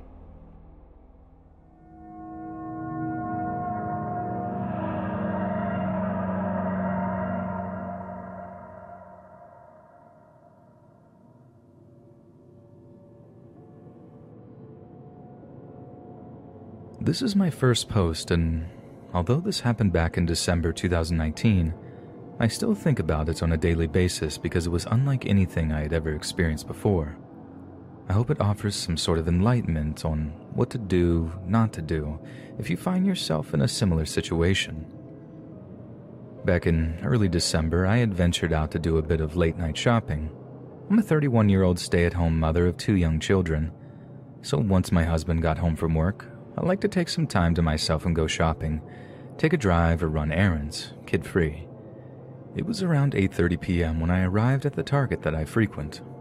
I'm by no means a paranoid or anxious individual, but I have attended several seminars in college on human trafficking and have done plenty of research on my own learning to identify red flags and what precautions to take when out in public alone, especially at night. I carry several self defense items on my person at all times, Kubotan, alarm, and universal handcuff key, just in case. I parked directly in front of the store, next to a cart caddy, and took a mental note of the vehicles parked nearby again, just as a precaution. I was taught at an early age to always be observant of your surroundings, and being a control freak just naturally makes you that way. Nothing seemed out of the ordinary that night, and the parking lot was actually quite empty, most likely because it was a weekday. As I entered the store, I began browsing like usual, following the natural flow of the store departments, following the main aisle around. I'd been browsing for only 10 to 15 minutes when I noticed a young gentleman, mid 20s maybe. He was tall, skinny, dressed in a dirty gray two piece sweatsuit and brown work boots. He looked over at me, smiled, and said hello, but his facial expression was blank. He looked like he may have been high on something by the look in his eyes, but he didn't seem to care for my gesture and he quickly moved on. At first glance, there was nothing in particular that alarmed me about him except I took notice at the fact that he was just wandering down the main aisle with no cart or basket, hands in his pockets, and didn't seem to be with anyone. I continued shopping with no second thoughts and made my way to the next apartment. Several minutes had passed, and that's when I noticed a second young gentleman wearing the same gray suit and similar pair of work boots. Again, no cart, no basket. He too glanced at me, then quickly darted his eyes away when he realized I was looking directly at him. I became a bit more alerted, but still remained composed and continued on browsing. Another 15 minutes or so passed, and that's when a third older man caught my attention. And you guessed it same gray suit and work boots with no cart, no basket, just his hands in his pockets. I assumed they were in some sort of work uniform, maybe construction workers, but why weren't they walking around together? And why didn't they have any items to purchase? At this point, it was difficult to focus on browsing. I had a bad feeling about these three men, and it became clear that something was a bit off. Over the next 20 minutes or so, I felt as if though I was being monitored by the three of them, as if they were all communicating my whereabouts as I continued to make my way through the store because each department I entered, it didn't take long for me to notice one of the three men pass by whatever side aisle I happened to be in, making their presence known to me. I stayed completely vigilant while trying not to panic or allow my suspicions to overwhelm me. Something about their presence felt very heavy and dark, so I decided to test their intentions to prove I wasn't overthinking the situation and my bad gut feeling was valid. I began picking random aisles and traveling back and forth between departments in a very unorganized and random fashion to see if the men would continue to pass by me as frequently as they had been. With every aisle I popped into, it was just a few minutes later one of them would make an appearance, staring me down as they passed by. It felt as if though I was being surrounded like a wild animal, hunted even. They were no longer trying to be inconspicuous, which was the scariest part of it all, and everything instinctual was screaming at me to get out of there. I gripped my cart so tightly, and I figured if they got too close, I could use the cart to push them away, or at least create distance between us. By this point, I had been shopping for about an hour altogether, maybe a bit over, and was ready to purchase my items, but honestly, I felt too uncomfortable to continue browsing even if I wanted to. The man had been following me all that time, and I was becoming more annoyed, if anything. The store was pretty empty around this time, one of the main reasons I like shopping at night, but that made this particular situation even more unsettling. Two preteen girls were wandering around by themselves, which quickly caught my attention because the men had bypassed them, making similar advances, but the girls were seemingly oblivious. So I quietly got their attention and asked them to go find their parents and stay with them, trying not to freak them out. The mother in me was on full protection mode. I couldn't imagine having my young children with me on this night. Thank God they were home safe and sound. As I made my way to the checkout, I noticed one of the men coming up from behind me, walking at a quicker pace this time, so I immediately stopped and turned to lock eyes with him as he approached. I will never forget the darkness in his eyes. An eerie smirk formed on his face as he nudged my shoulder, continuing to stare me down, walking backwards to hold his sinister gaze as he exited out of the store. I had lost sight of the other two men, and I hated the uncertainty of it all. He made his message clear in that very moment. My stomach dropped and my entire body began to shake and it was a feeling I hadn't felt since I was a kid getting lost in the supermarket, a feeling of desperation. I quickly walked to the checkout, discreetly asked the cashier if I could speak to a manager, and told them what had transpired over the last hour, politely asking them for a male employee to walk me to my car and for them to alert their security team member. When I told the manager what happened, her face sunk as if she had already known about these men and once I described them, she confirmed she knew who I was talking about. She expressed that several of the female employees had found the men unsettling in the past and assured me that someone would escort me to my car. She made a report about the incident and said that she would alert the authorities. I was still shaking, but felt relieved that she believed me and showed concern for the other young female patrons in the store. She took my information, then a young male employee walked me out to my car. What I saw as I exited the store made me so sick to my stomach, solidifying all of my suspicions. A white, windowless van was parked in the lot directly behind my car, about a three parking space distance between us.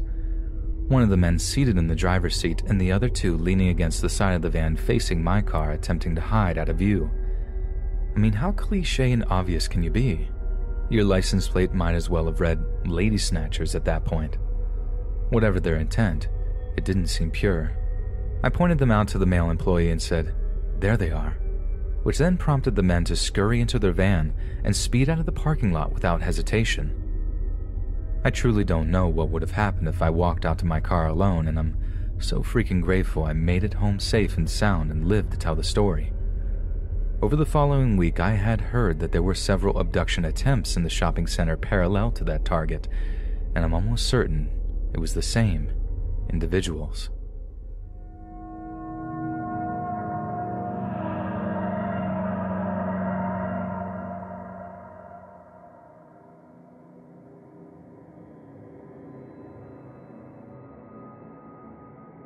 So, my part of the story starts in 2009, and I was a junior in high school. I lived in a small town in Ohio. In the fall, I started dating my first real boyfriend, John. John was a senior, and many of his friends were dating my friends, and he's well liked and funny at school. I'm thrilled about the relationship, especially because my strict parents seem to like John as well. He's pretty quiet around them, but always polite and appreciative in their presence. Since it's a small town, John lived literally down the street and we hung out all the time. My parents were actually getting divorced at the time, so I liked spending time at his place more than mine. John lived with Chris, a man who wasn't his biological dad, but someone he had lived with since around age 13 and often called dad. Chris was an adolescent counselor who knew John because he had been in foster care and he had taken John in. Chris was an amazing human who was fun to be around and it was just the two of them and their pug Murphy at the house. I didn't know much about John's childhood at first, other than it had clearly been rough enough for him to be involved with children's services.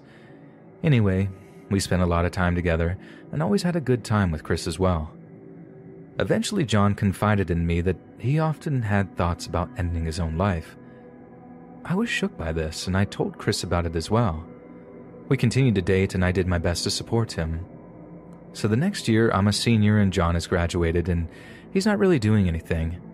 He didn't go to college, and his plans to join the military weren't really working out, so he's just living with Chris and working a part time job that my dad had gotten for him. I've always been into school and extracurriculars, and I felt like John was kind of holding me back. Our relationship was going downhill in many ways, but I was scared if I broke it off with John, he might actually go through with ending his own life. He had threatened to do so when I tried. In May 2011, I graduated high school and decided I had to leave the relationship behind. I was having my own depression issues, and John was having a detrimental effect on my mental health. I finally told him we had to break up and he needed to stop contacting me, threatening to self harm. I mostly cut off contact, and a couple of months later, I got an apartment with a friend about 30 minutes away from home and beside the college that I was attending. On Friday night in April 2012, I'm in my hometown to see a friend, and I pass John's house where I see police cars everywhere. I'm shocked, and I assume that John must have gone through with it. So I immediately call our mutual friend Kyle. Kyle has no clue what's going on with John, and he says that John had hung out at his house the day before. Kyle said John seemed like he was in a good mood, especially because he was driving Chris's Beamer at the time, which he loved to do. Anyways, Kyle was actually chilling in my apartment with my roommate. This was normal as he had a crush on her, so I just keep driving that way. When I get to my place, Kyle hasn't heard anything, but my mom calls me with a scoop. She's friends with the cops' wives, small town stuff. It turns out that John murdered Chris and was on the run somewhere. Someone had called for a wellness check after not hearing from Chris for a while, and the cops found his body at home. I was shocked and a little scared, as were Kyle and my roommate. So we all decided to stay at my roommate's parents' house for the night. By morning, the cops had luckily found and arrested John. He had taken the Beamer, so it was easily spotted at a rundown motel about 15 miles from his home, about 12 miles from our apartment. When the details came out, the whole thing was even more horrifying. It was a brutal homicide, and had occurred days before the body was found, which means that John was just hanging out at Kyle's house between committing this act and getting arrested, just nonchalantly playing video games, telling jokes to Kyle's little sister, acting like everything was fine. In the meanwhile, he had stuffed Chris's body in their freezer at home. It's insane to think about how someone could be such a psychopath, and there was really no explanation given. John initially tried to plead insanity, but he was eventually deemed competent and then pleaded guilty. He got 30 to life in prison. I've obviously told this story from my perspective, but the person who really matters in this is, of course, the victim. Chris was truly a saint of a human being. He had been my role model for so many years, and you just wonder how could something so horrific happen to someone so good, and at the hands of someone they had given everything to, someone they had loved, trusted, and had seen as a son. It's horrifying. Chris spent his life advocating for kids like John, and the local center he worked at is actually named after him now, as is the street that it is on. As I said to begin, I often wonder about the why of it all. Chris and John got along almost all of the time, and though John clearly had mental issues, no one thought that he would hurt anyone but himself. But clearly something was very wrong with John that we missed. They say hindsight is 2020, and I can definitely look back and think of a few strange instances with John. Sneaky, manipulative, and angry, he eventually showed all of those traits, but I was lucky enough not to experience any violence at his hands. I wish I could say the same for Chris. I'm thankful for the time I did spend with him and the positive impact he had on my life during that time. I know he had a positive effect on so many other lives as well, and may he rest in peace.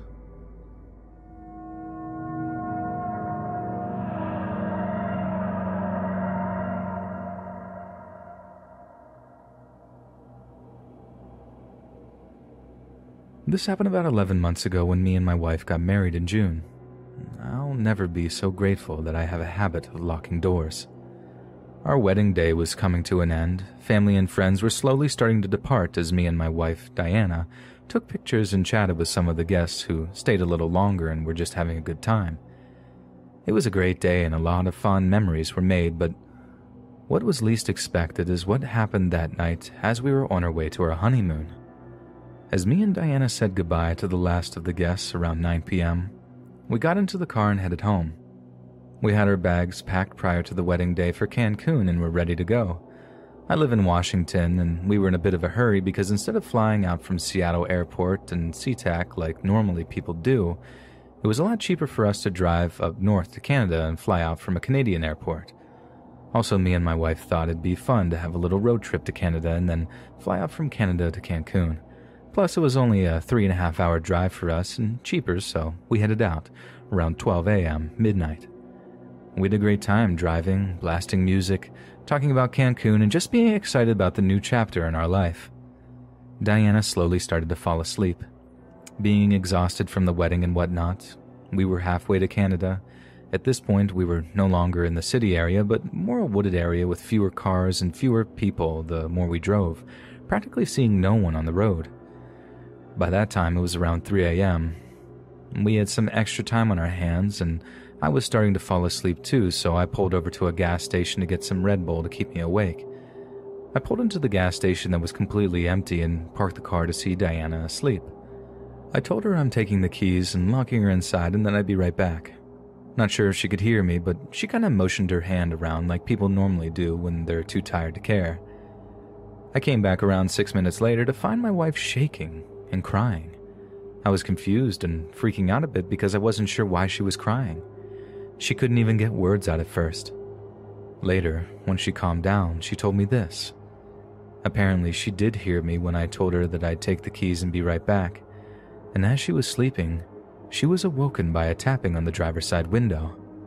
Being too tired to get up or even open her eyes, she lazily went for the unlock button on the passenger side of the door. As she was going for it, she froze. A thought passed her mind, and then she remembered. Didn't he say he had the keys? Why would he need me to unlock the door for him? That's when she heard a woman's voice mumbling from the driver's side. She turned herself around to look at the window and saw a woman, long black hair with wide eyes and a crooked smile on her face. She couldn't hear what she was saying at first, but when she heard what she was saying, she kept repeating in a mumbled tone Are you tired? Are you tired? Are you tired? Over and over and over again. Are you tired? She freaked out and told the woman to leave her alone. The woman laughed and told my wife that she was tired too. The woman never took her eyes off of her and tried the door handle. At this point, my wife was close to tears and attempted to call me, but as she did, she heard what sounded like a phone buzz and realized I left my phone in the car. Out of options, my wife started to honk the horn, trying to scare off the women while also maybe getting my attention. The woman still had her gaze on her and started mumbling more while laughing and trying the door handle again then she mentioned something about someone named Sarah and asked my wife if she knew her. After a few more minutes of mumbling, she left. To my wife's words, the minute she left, I came out of the gas station, so my wife broke down. I don't know how I didn't hear the honking of the car, and I still feel bad for leaving my phone in the car. My wife also added that one of the creepier things about that woman is that she didn't look homeless or dirty or anything. In fact, she seemed normal and well kept. My wife said that she'll never forget the woman's wide eyes and the gaze that she had on her with that smile. It also chills me to think what would have happened if my wife never realized that I had the keys or if she never heard me talking about locking her inside and opened the door while faced the other way. I don't know what those women's intentions were, but if I couldn't hear the knock of a horn, I'm not sure if I'd hear screams.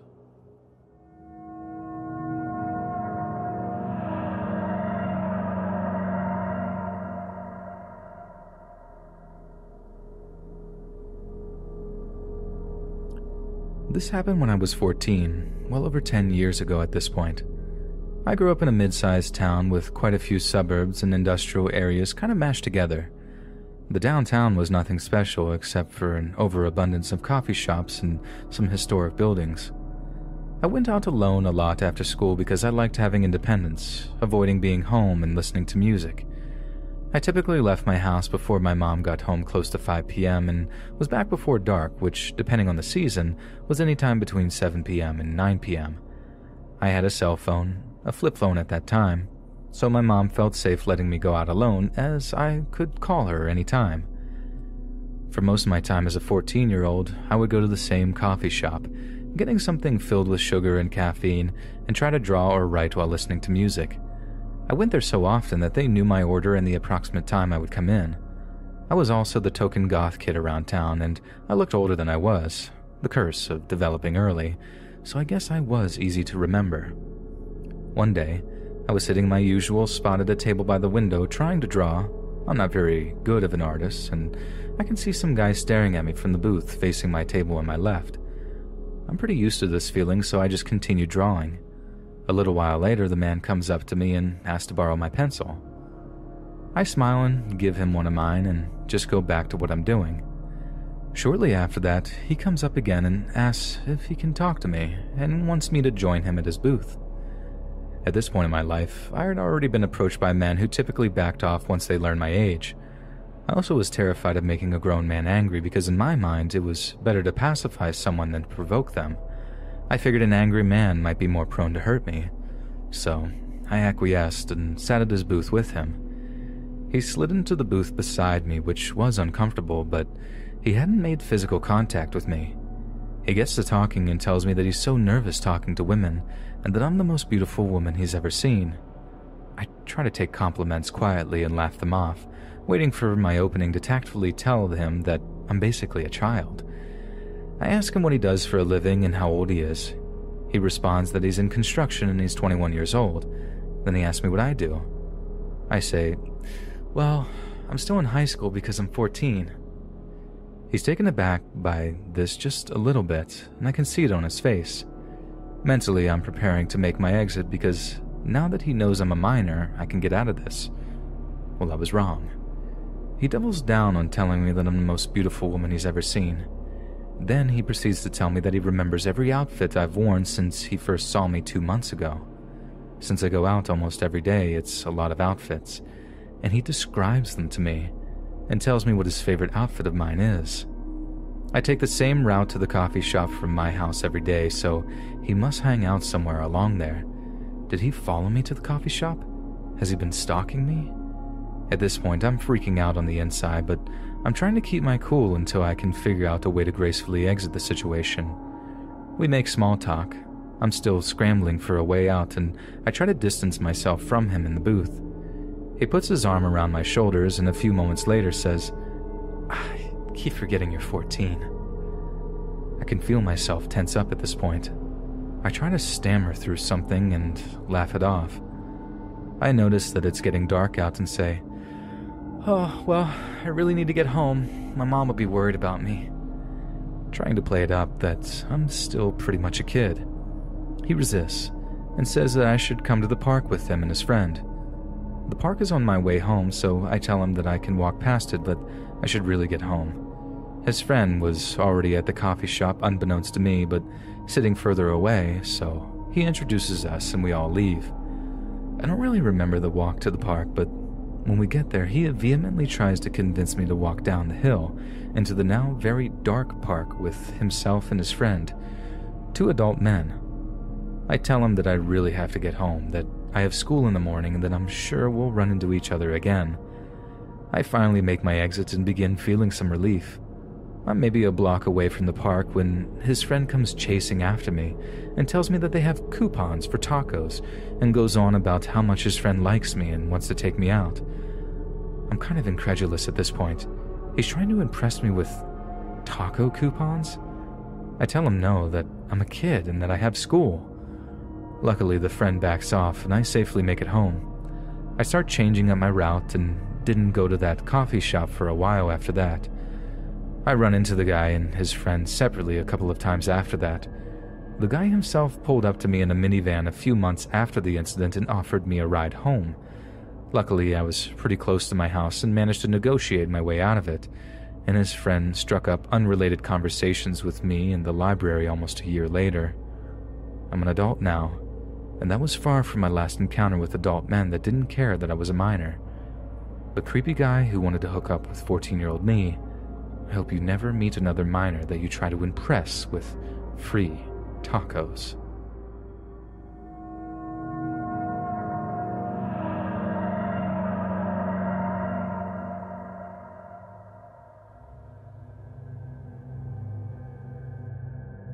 My skin still crawls thinking about this guy.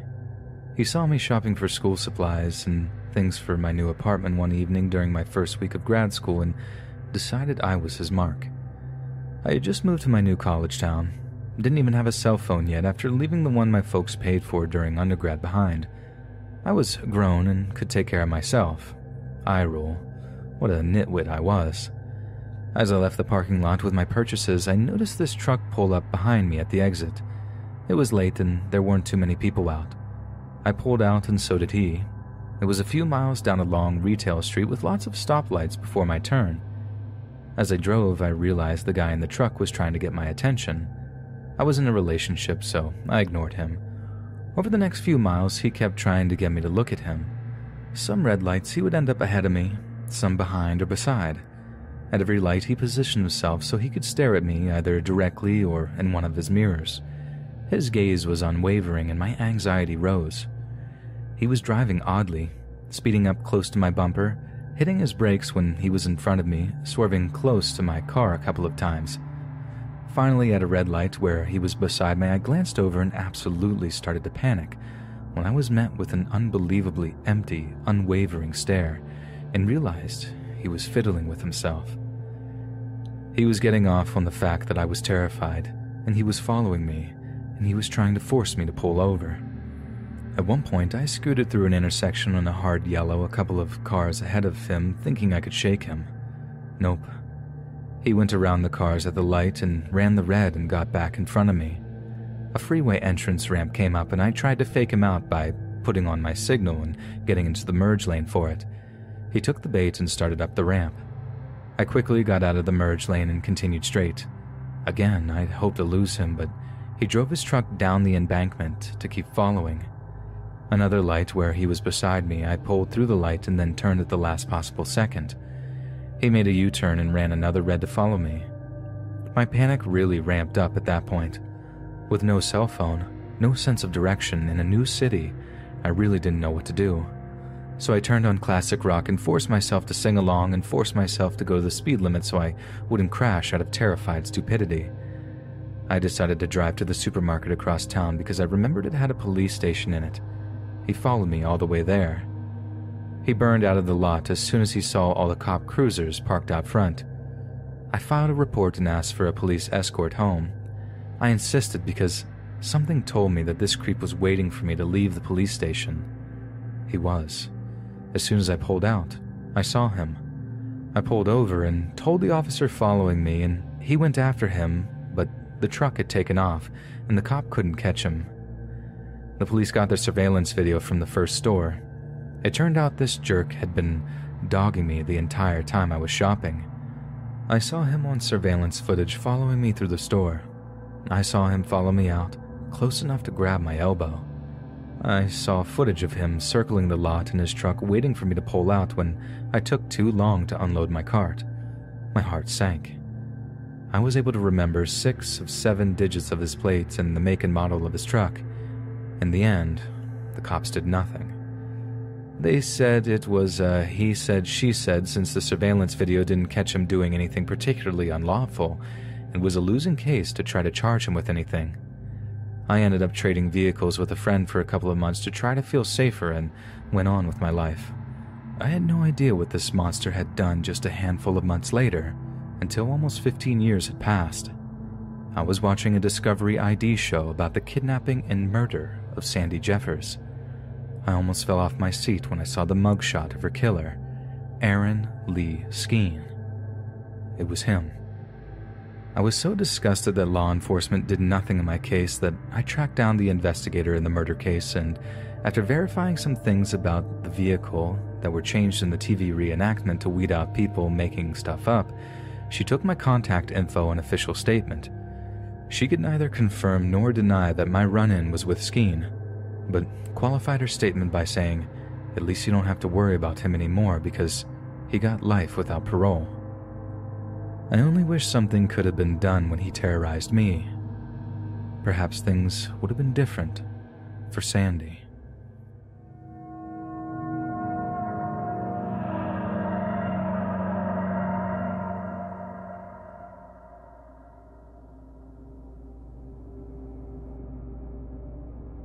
This happened when I was 15 over a decade ago.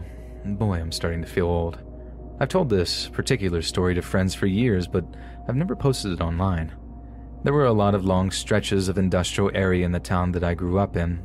Large plazas with big parking lots stuck next to one another, and wide open stretches of road and highway. The majority of my town felt like the area before an airport flat, gray, functional. And as a depressed teenager, I used to go out after school a lot by myself. First, it was within my neighborhood, but it escalated to me leaving the quaint residential areas to walk an hour or two in any direction. I'd usually make my way home before dark, and I had a trusty flip phone at the time to call my parents if I needed to. Generally, I felt pretty safe walking on the main streets because of how populated they were. There were always plenty of cars on the road, and there were quite a few pedestrians out and about. One early summer evening at about dusk, I was making my way home from one of my walks. It was a route I'd taken a lot, and I was about a 40 minute walk from home. I was just passing a parking lot when a car pulled out in front of me. I stopped about two feet from the vehicle to let it turn onto the road, but the driver rolled down his window. Hey, how are you? He asked me. The man looked to be in his late 40s and greeted me with an unsettling enthusiasm. I wasn't sure how to respond, but since I couldn't pass his car, I hoped he just needed directions or something. Uh, I'm okay. How are you? Before I can even finish my response, he says, I love your style. Goth girls in boots are one of my fetishes. And I'm not paraphrasing. Now, as I said, I'd been approached quite a few times by creepy men, but this guy was beyond bold. I had absolutely no idea how to respond. Just as I was going to try to formulate a response, a car pulled up behind him, meaning that he was blocking another car from exiting the parking lot. Um, there's a car behind you trying to get out, I tell him, relieved that I now have a way to get out of this conversation. I'll meet you in the next parking lot, he exclaims. And as I try to tell him no, that I need to get home, he drives off. In my mind, there was no way he could be serious. I continued walking, but sure enough, he's in the next parking lot. The parking lot he'd entered was down a bit of a hill, and he was standing beside his car. As soon as he saw me, he started waving me down. I'd been followed by cars before, and I was generally afraid of the idea of making a man angry and being stalked to my home. I assessed the situation. He was parked about 10 feet from a dive bar, and there were about 15 men outside on the patio, which meant that they could see me and would be in potential earshot if I screamed. I weighed the options between going down to meet him versus potentially being followed home and made the stupid decision to walk down the slight incline. I honestly don't know why I didn't just pretend to be on the phone or call my mom. I don't remember what he said when I approached, but I kept my distance from him in his car so I wouldn't be easy to kidnap. He walked around to his trunk and I felt myself tense up and take a step back. He then pulls out a pair of women's boots and approaches me slightly to show them to me. They were laced up, about mid calf, maybe size 9. Nice, aren't they? He asked me. Uh, yeah, I responded hesitantly. They were not nice, but my brain was on autopilot. Wanna try 'em on for me? He asked, grinning. I'm absolutely stunned. More than scared, I'm completely baffled that this is actually happening.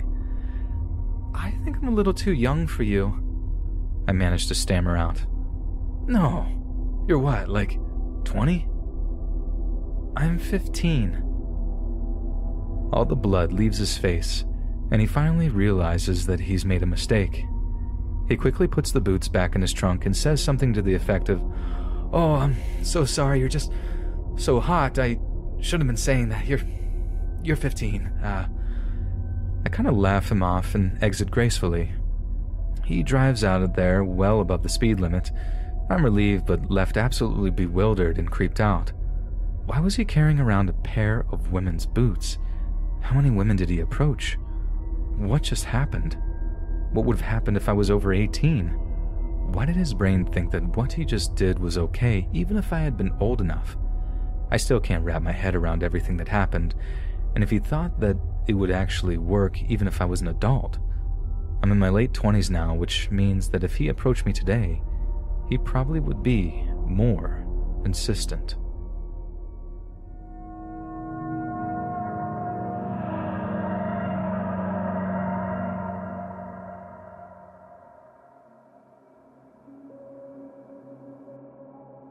This happened when I was a bartender about four years ago, but I think about it often and have changed the way I operate throughout life. Now I refuse to go to any store alone after midnight. For the story's sake, I will tell you that I was 25 and an attractive, slender blonde at the time. On a busy Friday night, I was bartending with the bar manager, and he had noticed that we were very low on some bar necessities after the dinner rush lemons, limes, bitters, that kind of thing. So I was sent out to go to a 24 hour grocery store down the road to pick up the odds and ends that would require to get us through the weekend. I picked up everything that was asked of me without trouble at the store until I got to the liquor aisle. There were two country looking guys that were probably around my age in the aisle, and they were staring at me and whispering to each other in a way that made me feel uncomfortable, as I assumed that they were making comments about me. All pretty innocent so far. Before they could approach me, I grabbed what I needed very quickly and power walked to the self checkout. I really booked it out of there because when you're a bartender, it's kind of like you're on stage and are required to be charming and interact with people that you would otherwise absolutely wouldn't be able to tolerate unless you're getting paid. Thus, why I'm not a bartender anymore. I get to the self checkout, and hot on my tail are the two guys. I'm scanning my stuff, and they use the scanning station next to me. I get a better look at them now that they are right next to me, one is taller, muscular, and average looking. The other is shorter and more plump. They both looked dirty and their eyes were completely bloodshot. Not sure if they were high on something or already had been drinking for a while. They continued to stare at me and our eyes awkwardly met, so I did the pleasant, Midwesterny thing to do and flashed them a quick, half closed lipped smile to be polite. The taller one started trying to talk to me. Hey, looks like you're ready to party, huh? I replied with something like, Yeah, something like that. It's not for me, though. They walk closer to me and ignore their responsibility to scan their items. Uh, must be for your boyfriend, huh? I flash that awkward, tight lipped smile again and roll my eyes slightly, like this is your hint that I'm not interested, fellas. The taller one continues to try to talk to me. You could come hang out with us tonight. We could show you a real good time if you know what I mean. I reply with, No thanks, I'm good. I got plans already. Well, the tall one starts to get upset that his moves aren't working like he'd hoped and starts using a more threatening tone and moves very close to me, like two inches away. But I ignore him, staying focused on the scanner. I don't think he had showered in a few days by the smell of him.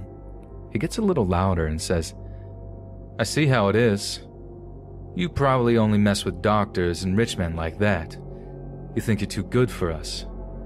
We can show you that you aren't. We could teach you a lesson. Now, I'm not sure in what context he meant, but it definitely wasn't good.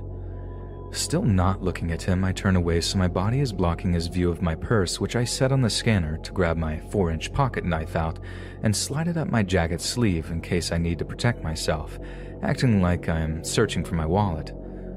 I do this, however, in view of the self scanner worker standing at her podium and look at her with wide eyes, trying to communicate that I don't feel safe and I might need help. I turn back to the machine and slide my credit card to pay, while the creepy and hostile guys are practically standing on top of me. The machine malfunctions and starts beeping.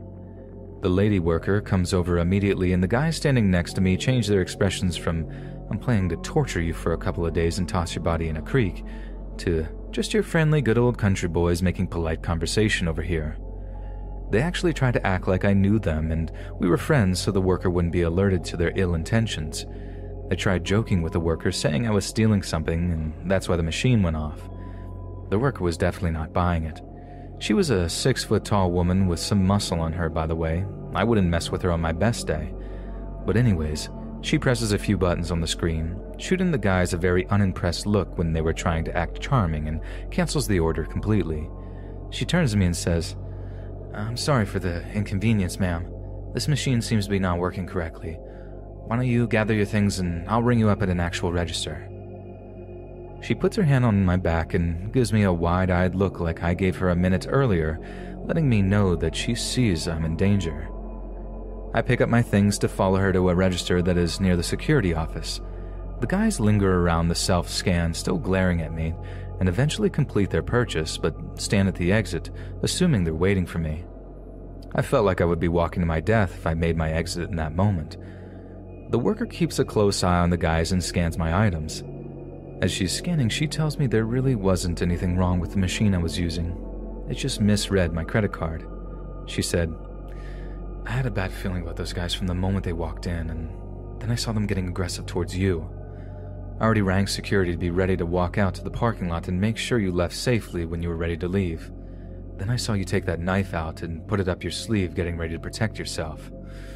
Good girl. As much as I'd like to see you show them that they picked the wrong chick to mess with, I'm glad I was able to pull you aside and make sure you're safe. I see them waiting by the door for you, I'll just keep pressing buttons on the screen and act like I'm having trouble with your order until they give up and go outside. Our security officer and I both are still going to escort you to your vehicle when you leave. I thought to myself, this woman seriously deserves a raise. I thanked her over and over again and told her what they said to me, and I was getting afraid because I don't know what these guys are capable of. As I'm talking to her, my bar manager calls me to see what's taking so long. I explained what was happening, and he obviously was very concerned and ready to come up there himself and kick some butt. A sweet sentiment indeed. By the time I hang up, the guys had given up and walked out to the parking lot. The worker said to give it another few minutes because she had a feeling that they may still be in the parking lot waiting for me to walk out and see which vehicle was mine so they could follow me. My instant thought was, no way, they gotta be gone by now. I was wrong. The worker and security guard escorted me out, and as it was after midnight, you can imagine how empty the parking lot was. Towards the back of the lot, there sat an old big pickup truck running with the lights on, pointing towards the store. It was a huge parking lot, and it wouldn't have made sense for them to initially park like that, so I'm assuming they moved the truck to sit that way so they had full view of when I exited the store to go to my vehicle. It was like being stalked by very hungry lions. When I unlocked my car and they saw that me, the worker, and the guard were looking directly at them, and that I wasn't getting in my car until we watched them leave, they then peeled out of the parking lot. I mean, they seriously did a burnout and established that they were angry and trying to intimidate us or something. Ah, poor creeps didn't get their way. Boo hoo. I thanked the worker and the guard over and over again, as I am certain that they had just saved my life or at least saved me from having to live with whatever those guys were planning on doing to me. I did write a long letter to the store manager and to their corporate location describing how their employees protected me and how grateful I was. I really hope that earned her a promotion, bonus, or raise. She didn't know me at all and was ready to protect me, which really isn't her job, but she went through with it anyway.